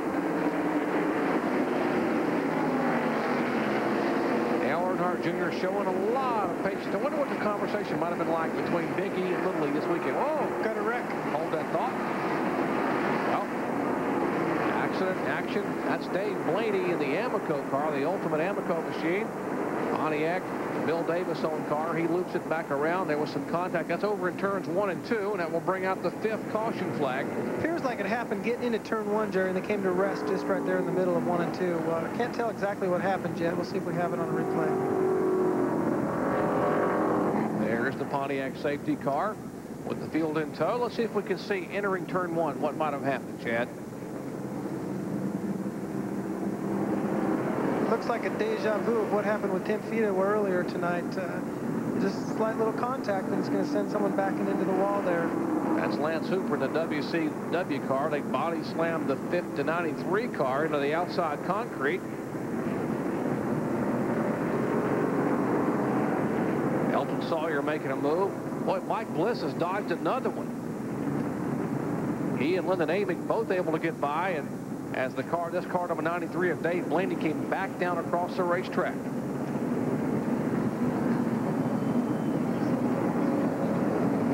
As you see Blaney's damaged car going behind the wall, one of our lead cars on pit road, the second place car, the clean shower machine for Bobby Hillin. As they go to work there, Nick Short, the crew chief on Hillin's machine, and they will change all four tires. Right side tires have already been changed. Left side tires going on, so he's down and away. We'll see if possibly the 66 car may come on the pit road. Once again, what brought the caution flag out, riding along with Kevin LePage, let's show you what he saw. What he saw was trouble. Just barely got it turned down low enough, too. Good job of missing it. Here's Elton Sawyer's Barbasol machine. He's right behind Hooper and Blaney, and he sees the contact. Ah, rear ends against rear ends, and both cars sliding. Elton Sawyer turns it hard left and avoids any further contact. Working lap 117, fifth caution flag today at Indianapolis Raceway Park. Elliott Sadler in the Phillips 66 Chevy Monte Carlo, the Gary Bechtelon machine. Sandy Jones, crew chief on that car. Winston Cup crew chief. As you watch the work now going on, Todd Bodine, Slim Jim Chevy.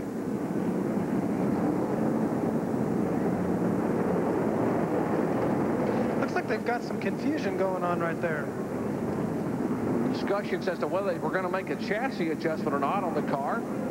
See the crew members talking among themselves a moment ago as to whether they would or wouldn't on the car number 30. Donnie Richardson's the crew chief down there. And you see that car exit. Let's check in uh, in the leader's pits with Marty. Yeah, guys, the uh, pit crew down here has stood down. They are not going to bring him in under this caution. Uh, interestingly enough, we always get to see the end result here at race time, but this crew really had a battle. They were 34th quickest in the morning practice, figured enough out to get to the eighth qualifying position, and right now they're leading this race. And remember, they have yet to change left side tire. They are still running the original lefts. And those right side tires were put on on lap 49, so they have come a long way on the right sides. Elliott Sadler, younger brother of Hermie Sadler. Elliott, a three-time winner last year in Winston, or should say in Busch Grand National competition. Won at Nazareth, Myrtle Beach, and St. Louis. This year, his lone victory coming on the high banks at Bristol, Tennessee. Our CARQUEST in-car camera with David Green. Well, I just can't help but think about the kind of run he's had in that car in, in six starts. Here's his teammate, Mike McLaughlin, right behind him, the Team 34 efforts.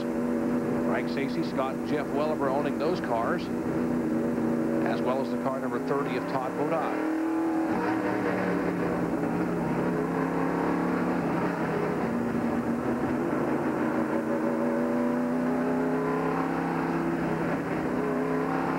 Take a look at the back of David Green's car. We told you that he, this is the sixth start he's had in this Stanley Tools machine, the Stanley Tools Pontiac. He has had finishes of fourth, fourth, second, fifth, and fourth. His worst finish has been fifth in five starts. Not a bad way to come back to the Busch Grand National Series. No, and I think that's really good. It also shows that how important chemistry is because David was having a hard time in the 96 car in Winston Cup garage. And, you know, he comes back over here and, and look at how good he's doing. So it just shows it. It's not David Green. It's not the 96 team in the Cup garage. It's just the chemistry.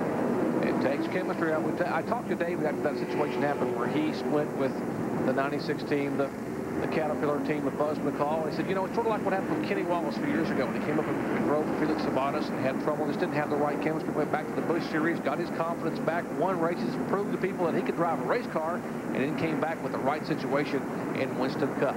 Maybe that'll happen with David. There's a look at the team car, the Slim Jim machine for Todd Bodine as we continue to work. The fifth caution flag today. Let's check in once again with Bill Weber. About to go green. Todd Bodine had a flat left rear. That's why they changed the lefts before. They just changed the rights, and they sat on pit road talking about making two chassis adjustments at the same time. They wanted to make sure they had the right adjustments before they went back out.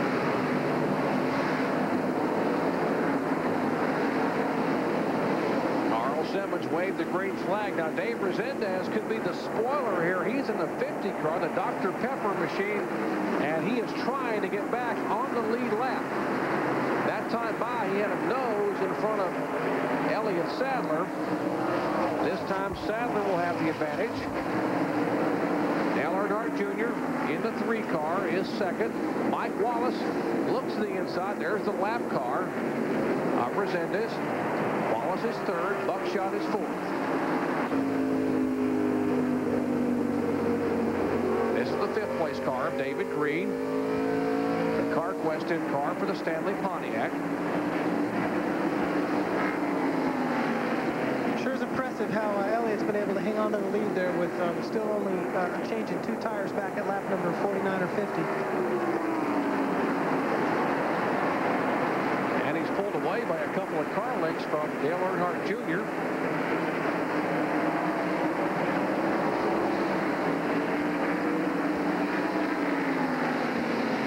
Battles up front. What about the Barbasol machine, the Aiken Sutton Motorsports car for Elton Sawyer? How about it, Marty? Well, guys, he's on the move. I think he's just passing for 10th position. Remember, he was 30th. And remember, we told you about the problems that they had a ratchet. Well, whatever it was, the crew wishes they could take the credit, but it has broken free. The car is freed up, and he is moving. Oh, indeed. We will keep an eye on Elton Sawyer, who's finished second here. He has a second place and two fourth place finishes here in 1998. He has to get his first win this year in that car. Meanwhile, back up front is Elliott Sadler and Dale Earnhardt Jr. They have pulled away somewhat from the third place car. Here's a battle. Randy LaJoie in a 74 waging war with Wayne Grubb in the car number 83. That's the Link Belt Chevrolet. I'm impressed with Wayne Grubb and Kevin Grubb, his brother. Both these young men, pretty good race car drivers to be just 21 years of age. Very good. Now right there is for eighth and ninth place. Uh, they weren't racing when I was in the Busch Series, and they have come on really strong in just a short period. Bobby King is the crew chief for both these cars, and certainly that helps a lot. That experience, that maturity in getting these cars set up. And now LaJoie will have the advantage of trying to take the spot away. They were battling for eighth position. There is Elton Sawyer. LaJoie says, I got to go because this Elton is coming in a hurry.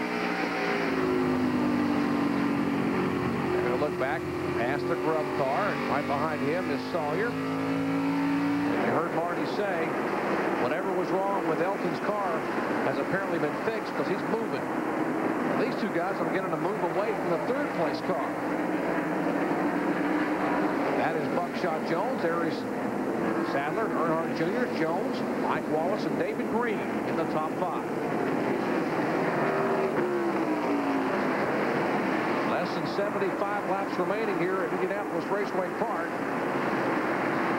There have been five caution flags. There's, once again, LaJoie. As he sees in his rearview mirror Matt Kenseth is coming his way in the car number 17.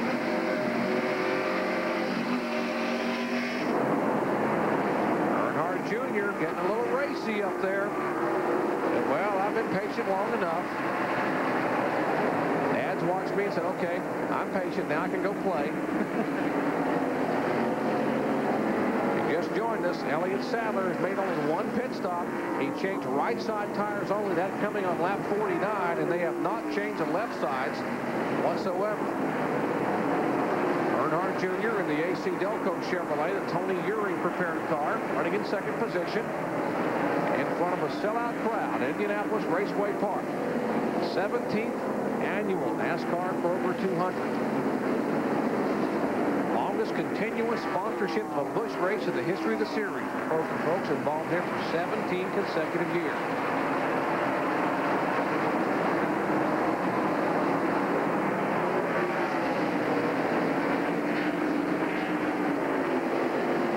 Now side-by-side action. That for ninth position. Grubb and Sawyer. Grubb's car shimmies a little bit. Shutters. That may give Sawyer a chance to climb on the inside. Grubb comes back in the throttle and pulls Sawyer by a car and a half. Meanwhile, back up front. Battles all over this racetrack. Ah, Chad, he's sneaking more and more to the inside. Helm Sawyer for the last couple laps was running on the inside. Dale was trying the outside. Now Elliott's kind of running in the middle and Dale's trying the inside. Like I said earlier, I think Dale's a little quicker right now. Uh, he's showing a lot of patience to try to get around that uh, 66 car of Elton Sawyer. All right, sixth position up for grabs here. There's LaJoie and McLaughlin. Call it LaJoie as they slide by the damaged car of Tracy Leslie involved in an incident earlier. Now LaJoie will take sixth spot away. Back up front, here is Earnhardt on the inside. Down in turn three. Can he get it to stick on the inside of the racetrack? Yes, he's back in the throttle. He will slide up. Sadler will slide up. Fans are on their feet, and here's Elliott. Pulls him down the straightaway. Elliott took his groove away that time as it went into turn one. What I mean by that is Elliott knew he was running a little bit better on the inside, and he made sure when he went down into turn number one that Earnhardt couldn't run that he was shown to be a little bit stronger at. They approach the damaged car of Joe Bessey. They wave that blue and green move-over flag. Bessey pulls down out of the way the lead cars. Dale Earnhardt Jr. looks high, looks low. Andy Santerre's car on the inside. Now they've got some open track in front of them. We'll see if Earnhardt Jr. will run at it. Gets the back in the throttle, pulls right up to the rear deck as they come by. It really shows, I think, the difference in tires right there. You saw the kind of forward bite or grip that Earnhardt was getting in the middle of the corner. You can see it again there, too. It looks like he's got more power. What it is is he's able to apply more throttle quicker. Here's where the three cars awfully good in turn three. Sadler has always had the power. Can he take the groove away? No, Earnhardt will bump. He will have the inside advantage, and here comes Elliott Sadler back. It would have been Earnhardt by four feet, and Dale Earnhardt Jr. takes the lead, but here comes Sadler back on the inside. Oh, great racing at Indianapolis Raceway Park in the NASCAR Busch Grand National Series. I wonder if he's thinking about last week at South, at South Boston Speedway. He's just probably thinking about hanging on that steering wheel and keeping those wheels headed in the right direction.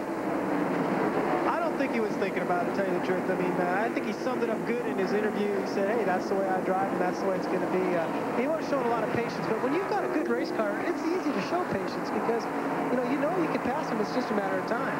Well, he's a talented young man, and irrespective of his impatience a week ago, he's got a great head on his shoulders for understanding what racing's all about, and why wouldn't it? Back in the racetrack. This is for 13th position. Channellock Chevy riding along with Kevin LePage.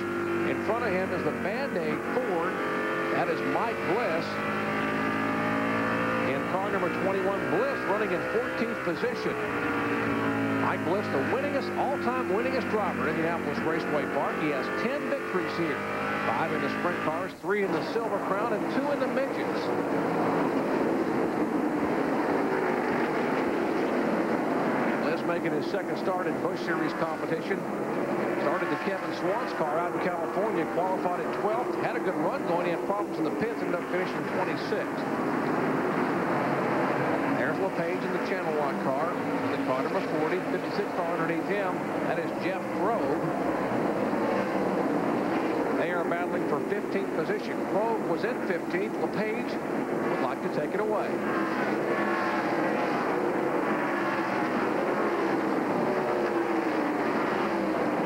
Fourth position, Mike Wallace in the car number 15. That's the Oakwood home Chevy. His car starting to slip and slide up across the racetrack. David Green says one more slip and I may be able to stuff this Stanley Pontiac right down beneath you. And if he does, Randy LaJoie will go by because they'll kick the door open. Well, look at Randy. They've been able to pull below the yellow line. That's what a, that's what repaving a racetrack will do. Have done a great job here repaving this facility. Clarence Cable and the folks, for the first time in 37 years, what a job and what a race here, Series style. As you watch the battle for fourth, fifth, and sixth, back with more live racing action in just a moment. Back at Indianapolis Raceway Park, there are 50 laps to go, and our leader, the Delco Chevrolet driver, Dale Earnhardt Jr., and we have a car in the wall, and it's Dave Rezendes in the Dr. Pepper machine. Washington Erving on cars. He loops it back around, gets it refired. Doesn't look like it, there was much, if any, damage on that car. That will bring out caution flag number six. You're on lap 150. Here's a replay of what happened with Dave Rezendes.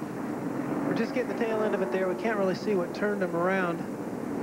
And like Dr. Punch said, just very little damage. All right, now we expect with, with now just 50 or like make that 49 laps remaining that we would see probably those final pit stops. Watch for Earnhardt Jr. to come in, Elliott Sadler to come in. Pit work, very, very critical. And as you heard Chad Little tell you, the tire rule tonight was two sets, two per position. I don't think any of these leaders have used up nearly that many tires. No, but Lyndon Amick, remember, took on his his second set at an earlier caution, so that'll probably put him up to the lead if all the other leaders come in. Here's Mike Wallace in the Oakwood Homes car. He was running in fourth position. He is down pit road. His car was beginning to skate somewhat up across the racetrack. As that crew comes out across the wall, that's the Andy Petree team. I don't think they're going to pit, Jerry. The, those leaders that are up there right now, um, they're seeing how good tire wear is. They're seeing how good Elliott Sadler's been running up there in front. And I don't think they're going to come in and give up the track position. Left side tire is now going on the car number 15. Mike Wallace subbing for Kenny Schrader. He subbed for Schrader at Daytona when Schrader was injured, had that uh, contact with a wall and injured his sternum, finished 11th. Drove awfully well down there with very minimal practice in the car. Just got in the final practice to run that 300 mile down there in during speed and now he comes on and off pit road. Matt Kenseth has been on pit road as well in the car number 17.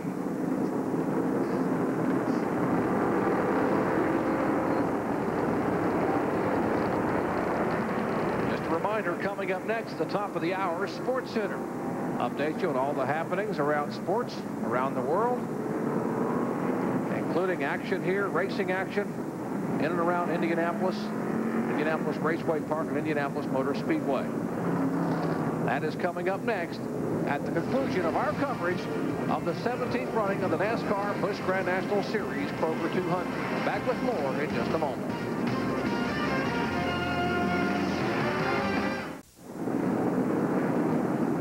Well, back at Indianapolis Raceway Park in Clermont, Indiana. Interesting pit strategy here. The Earnhardt Jr. car did not stop. Elliott Sadler did not stop. You got to wonder, we are less than 50 to go. If they were going to stop, that would have been the most opportune time to come in for fresh rubber. Well, two reasons why I believe. One is, is we have a new surface here, which is not abrasive on tires like the old one was. Second reason is, is Goodyear has a great tire here that's not wearing out. Otherwise, you'd see these guys, you know, normally in Winston Cup racing, I mean, we don't have tire rules because we put them on whenever we can get them. But obviously tonight, the tires are wearing so good, they don't feel they need to stop. Elliott Sadler's still out there with 100, 100 lap right side tires and left sides that have been on the whole race. Hey, I'll tell you where they're going to wear out some tires. How about the NHRA Drag Racing Nationals, the Prolong Northwest Nationals, 7.30 Eastern Time, Sunday afternoon on the Deuce. The Prolong Northwest Nationals, the 11th annual edition, coming your way from Seattle International Raceway in Kent, Washington. NHRA Drag Racing. We go back to Green Flag Racing here at Indianapolis Raceway Park. Let's check in in the Sadler pits with Marty Reid. Well, Elliott Sadler, he could be a chicken waiting to get plucked out there. Remember, Jack Sprague won last night on the going the distance on left sides, but he was talking right before this uh, red yellow situation that he felt like he needed left side tires. We'll find out if they were able to cool down enough, and he's got enough rubber to go for the last 45 laps. Billy. Well, Marty, uh, Dale Earnhardt Jr. is not going to stop. Tony Eury Jr. says basically their car is perfect. They have not made any adjustments to it throughout the evening. They've only had one stop. They put on the four tires. They're obviously paying off now. They've got enough fuel to go the distance. How about that? One stop. I guess if the car is dialed in that well, you put four tires on and run all, run all day. Well, when you've got a smooth surface and a, and a good tire like Goodyear's brought here tonight, you know, it can happen. All right, battle for third position. Double off buckshot. The car number double zero in the 74 car LaJoie. That is the Bob Evans in-car onboard camera for Randy. LaJoie's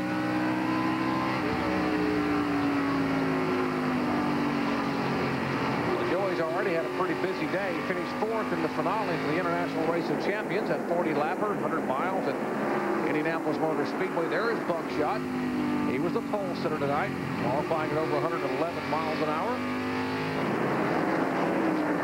Not quite as strong as he was the first um, 60 or 70 laps of the race, obviously. Maybe a little chassis adjustment, uh, getting cooler, different set of tires. It's hard to say. But uh, the way he checked out at the start of that race, uh, just not quite as strong as he was then. He led the first 49 laps here tonight. Actually pulled away by, by a straightaway, and then the caution came out. A spin by Tim Fedewa. Well, he came in and made a tire change, was back in the pack, and really hasn't been that strong since. Well, he's still in third place. He's, he's got a, he's got a good run going on. But uh, you're right. He's not uh, he's not able to pull up on uh, on second and challenge for the lead right now.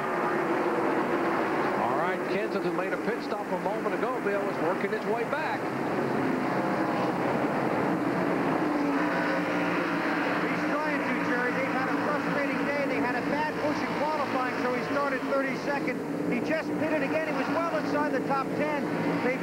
Round and a half out of the right rear. They think there's something wrong with the car. It keeps pushing very badly. They think they may have a left rear shock broken. Right now, he's back around the 20th position. Oh, man, getting a little bit slipping and sliding here. It's getting a little bit slick out here, but less than 40 laps to go. Pretty good battle starting to brew all around this racetrack. There is Bobby Hillin as the car number 80 looks around Mark Probe. Let's see if bring out a caution. It doesn't look like it's going to. Nope, they're not going to throw a caution. Carl Simmons says no, he's got it looped around Joey Chitwood style, back headed in the right direction. So we'll just keep on green flag racing. As they chase Dale Earnhardt Jr., young man trying to pick up his fifth win in 1998. What happened a moment ago to Mark Probe's car. And a little help from behind. Looks like that might have been Mike Wallace as they were all trying to wool up a little bit. And Mike gets into the back of the car number 80. Gives him a nudge. He loops it around.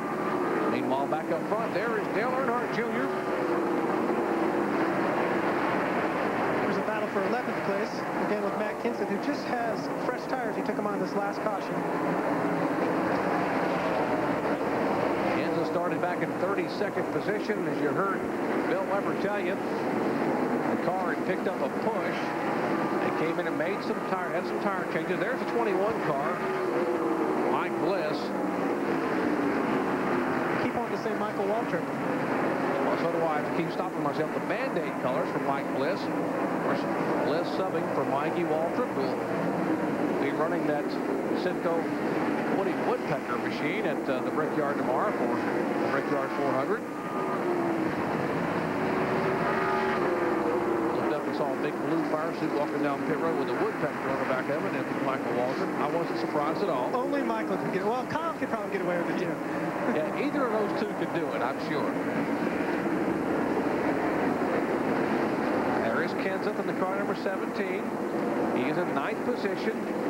Here is Elton Sawyer in the 38, the Barbasol car, and the 34 of Mike McLaughlin. McLaughlin is sixth, Sawyer is seventh.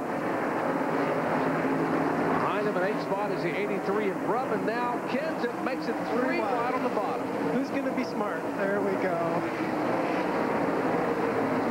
You know, we, we heard Bill comment that the 17 car, Matt Kenseth, might be having a shock problem, but it doesn't appear to be affecting him too bad. He's moving up pretty good through the field right now, almost ready to crack into the top. Well, he is in the top 10 right now. He's in ninth place.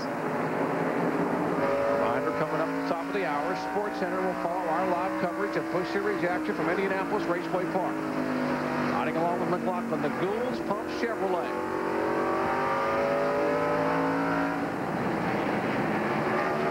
Looks like the tires that Kenseth took on the last caution are, are really paying off for him. He seems to be the only one right now that's able to pass cars. Grubb spinning around and gets it spun around. Again, it does not look like NASCAR's going to throw a caution. I don't think even Chitwood can do one that well. I, he spun around, come all the way up, and didn't even nudge the wall. Came very close to it. It was good that nobody hit him. Lost about a half a dozen spots, and that was about it.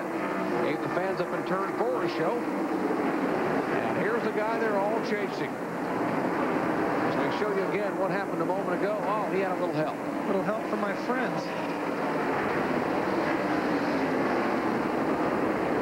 Second angle, probably going to show you the same thing. That car had already got a little tap from behind from, from Kenseth and the link belt Chevy for Grubb. Was being shown in eighth spot. Now he has slid all the way back to 20th position. There's McLaughlin, the car number 34. He's in eighth position now. The 56 car of Krogh. Good run for Jeff Krogh.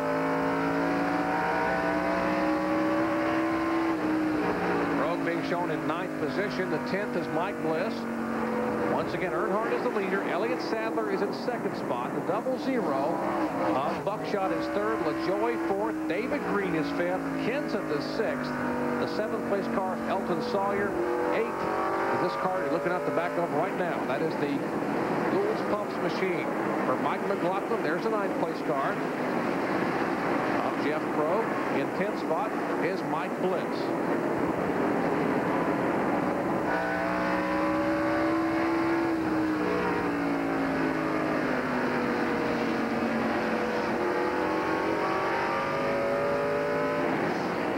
Now, we told you Mike Wallace had made a pit stop and put on four tires. There is Mike. He is coming back up through the field. He is being shown in 11th position. Let's check in with Marty. Well, Andy Petree, guys, made the call. He thought everybody was going to stop. So he came in. Once he had committed, he said, okay, let's do four tires, put some fuel in this baby, turn our boy loose. He's come back from 22nd to 12th. He is moving forward. Is. Mike Wallace has three career Busch Series wins, including one right here at Indianapolis Raceway Park in his last visit back in 1994. And he is closing in on the back of that Band-Aid Ford. That would be for 10th position. That is 7th, 8th, 9th, and 10th all together as we have less than 25 laps remaining in this 17th running of the Kroger 200. Now Bliss will go to the high side. Looks up high around Krogh. Wallace is there. You're riding along on the bumper cams for Mike McLaughlin. Now Krogh will slide up. All right, you're Mike Wallace. You're sitting back there, Chad. You say, well, what do I do? Do I follow Bliss? I just cut down on the inside and try to take the low routes. I got tires. I think he's wanting to see which groove is going to move here.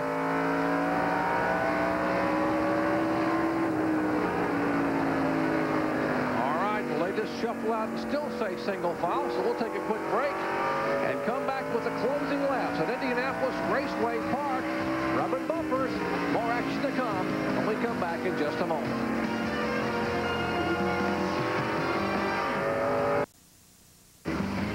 Our Speedworld coverage of exciting NASCAR Busch Grand National Series action from Indianapolis Raceway Park is being brought to you by Quaker State. Sensible technology. What more do you need to know? By Daytona USA, the ultimate motorsports attraction. And by the more than 2,500 AutoZone stores across America. AutoZone, the best parts in auto parts. Well, we're going to save the best for last here. Battle's heating up. Mike Bliss has gotten around Mike McLaughlin for position. And now McLaughlin in ninth spot trying to hold off Mike Wallace as Wallace looks to the inside. 17 laps to go at Indianapolis Raceway Park. Our leader is Earnhardt Jr. Elliott Sadler in second spot. Comfortable lead for Earnhardt Jr. 1.4 seconds over Elliott Sadler in the 66 car. There comes Sadler in second spot. Double O Buckshot being shown in third. There's the Pontiac. There's the Chevrolet of Sadler. Buckshot is back in third spot. Fourth spot being shown to car number 74 of LaJoie, and fifth is David Green. And here is the battle for ninth position. And Mike Wallace will take the spot away.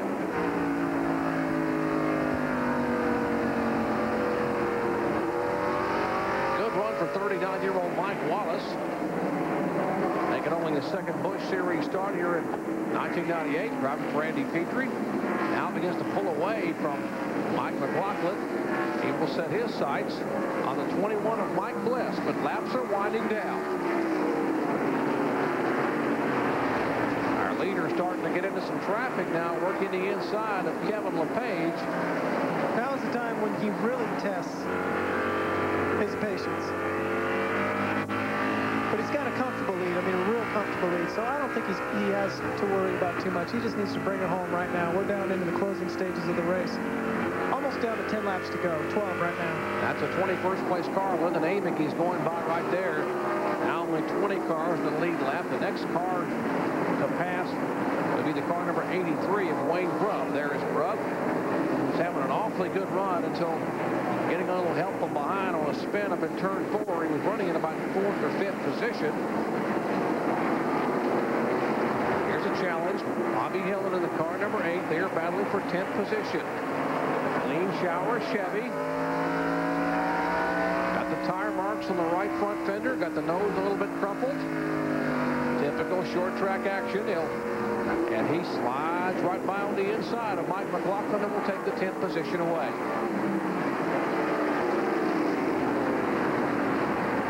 10 laps to go. That time by. Carl Simmons holding up two handfuls of fingers to our leader, Dale Earnhardt Jr. Young man started back in 16th position in the AC Delco Chevrolet. He's really just had a great car all night long. Was up to the front right away, uh, cars right and left at the start of the race. Uh, had good pit strategy. Uh, only took on one set of tires, and uh, he's uh, he's just been remarkable this year. Oh, indeed. What an impressive young man he is. Looking for win number five. As you see, Mike McLaughlin really having trouble struggling with the handle on his car. He's lost another position. That one going away to Jeff Krogh. Now Ed Berrier with the car number 77. The winner this year at Hickory Speedway in the Lear machine. As you take a look at our field summary with less than 10 to go. Matt Kenseth back in sixth spot from 32nd. Mike Wallace after that pit stop climbing all the way back up to ninth. Mike Dillon in 14th position, all the way from the back of the field. Pretty good job the Detroit gasket car. And trying to take another spot away. Just trying to make a move now inside the Gould's Pumps machine of Mike McLaughlin.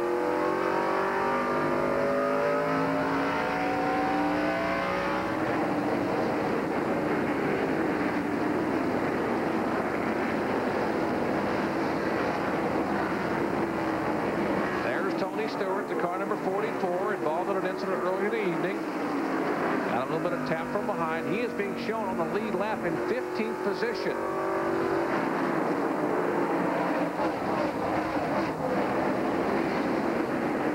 The 72 car in 14th spot is Mike Dillon. There is Tony Stewart's progression.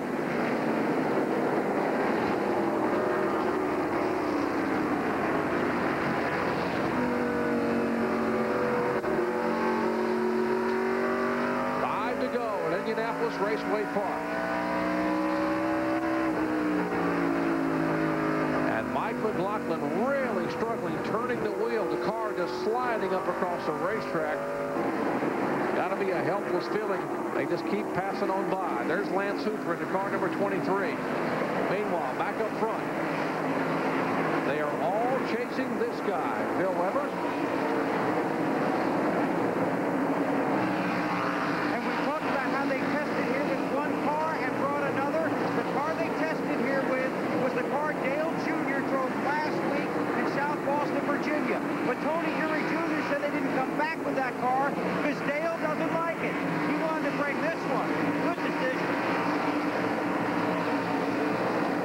All right, battles winding down here. 38 and 21 side by side. Elton Sawyer and Mike Bliss. What a job Bliss has done here at IRP. They are battling for position. Bliss trying to take the seventh position away. Driving for Michael Waltrip in the Band-Aid Ford.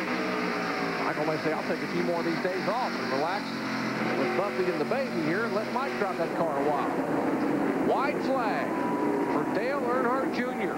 His father's best finish at IRP. Dale Sr. was a third in 1990. But the young man, the third generation driver from Kannapolis, North Carolina at 23 years of age, looks like he is one turn away from picking up his fifth win in 1998. Their feet and Dale Earnhardt Jr. has won the Kroger 200.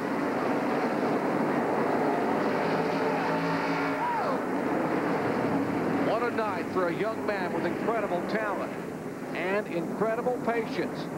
As we check into their pits, I think Bill Weber is caught up with Tony Eury. Well, I, I've caught up with him, but I sure can't get his attention. He's talking to his driver. Remember, Dale Jr.'s never been here. Doesn't know where Victory Lane is. Congratulations. That's a great car and a great race again. Thanks, man. I mean, we really struggled today because we tested a different car. But I'm telling you, we all stuck together, and this is why we're going to be champions this year right here. Did you feel you had something to prove after last week, Tony? Yeah, we really meant to come here and stake to show up again. Because, I mean, we feel like we really got one took away from us last week. But we're proud to have this as five, and it's great. Well, if they did get one taken away last week, they're taking one home tonight. Ready. All right, that was Dale. That was Tony Eury Jr. Dale Jr.'s fifth win in the past 15 starts as we go down to victory lane and Marty Reid. Big smile on the face of this young man. 16th to first. Nice job. Yeah, we had a good car. The AC Delco Chevrolet Monte Carlo ran good all day long. And, uh, you know, I got to thank all the sponsors on board, Coca-Cola, uh, Burger King, Food City, uh, everybody involved. I want to say to my daddy, you know, we won this one uh, for some friends of mine back home, too. Uh, had a friend of mine lose a mother this past week, but uh, we want to dedicate this one to, to her and, and the rest of the, uh, the Neal family. But um, it was a good win, and the Chevrolet Monte Carlo ran good all day, and, and you know, we made the pit, right calls on pit, pit road, and the car was just fast right off the bat. And he did one other thing, guys. He was patient. Boy, was he ever. He made up for a week ago big time. Our McDonald's Winner Circle interview as Dale Earnhardt Jr. climbs out with his fifth win the 1998 season. Earnhardt Jr. takes the win. Elliott Sadler will finish in second spot. Buckshot Jones in third. LaJoie fourth. And David Green in fifth as the fireworks go off. Our unofficial results from the 17th running of the NASCAR Busch Grand National Series Kroger 200. Of course, remember, a lot of racing action to come your way tomorrow. Our live coverage at 1 o'clock Eastern Time on ABC Sports of the fifth running of the NASCAR Winston Cup Brickyard.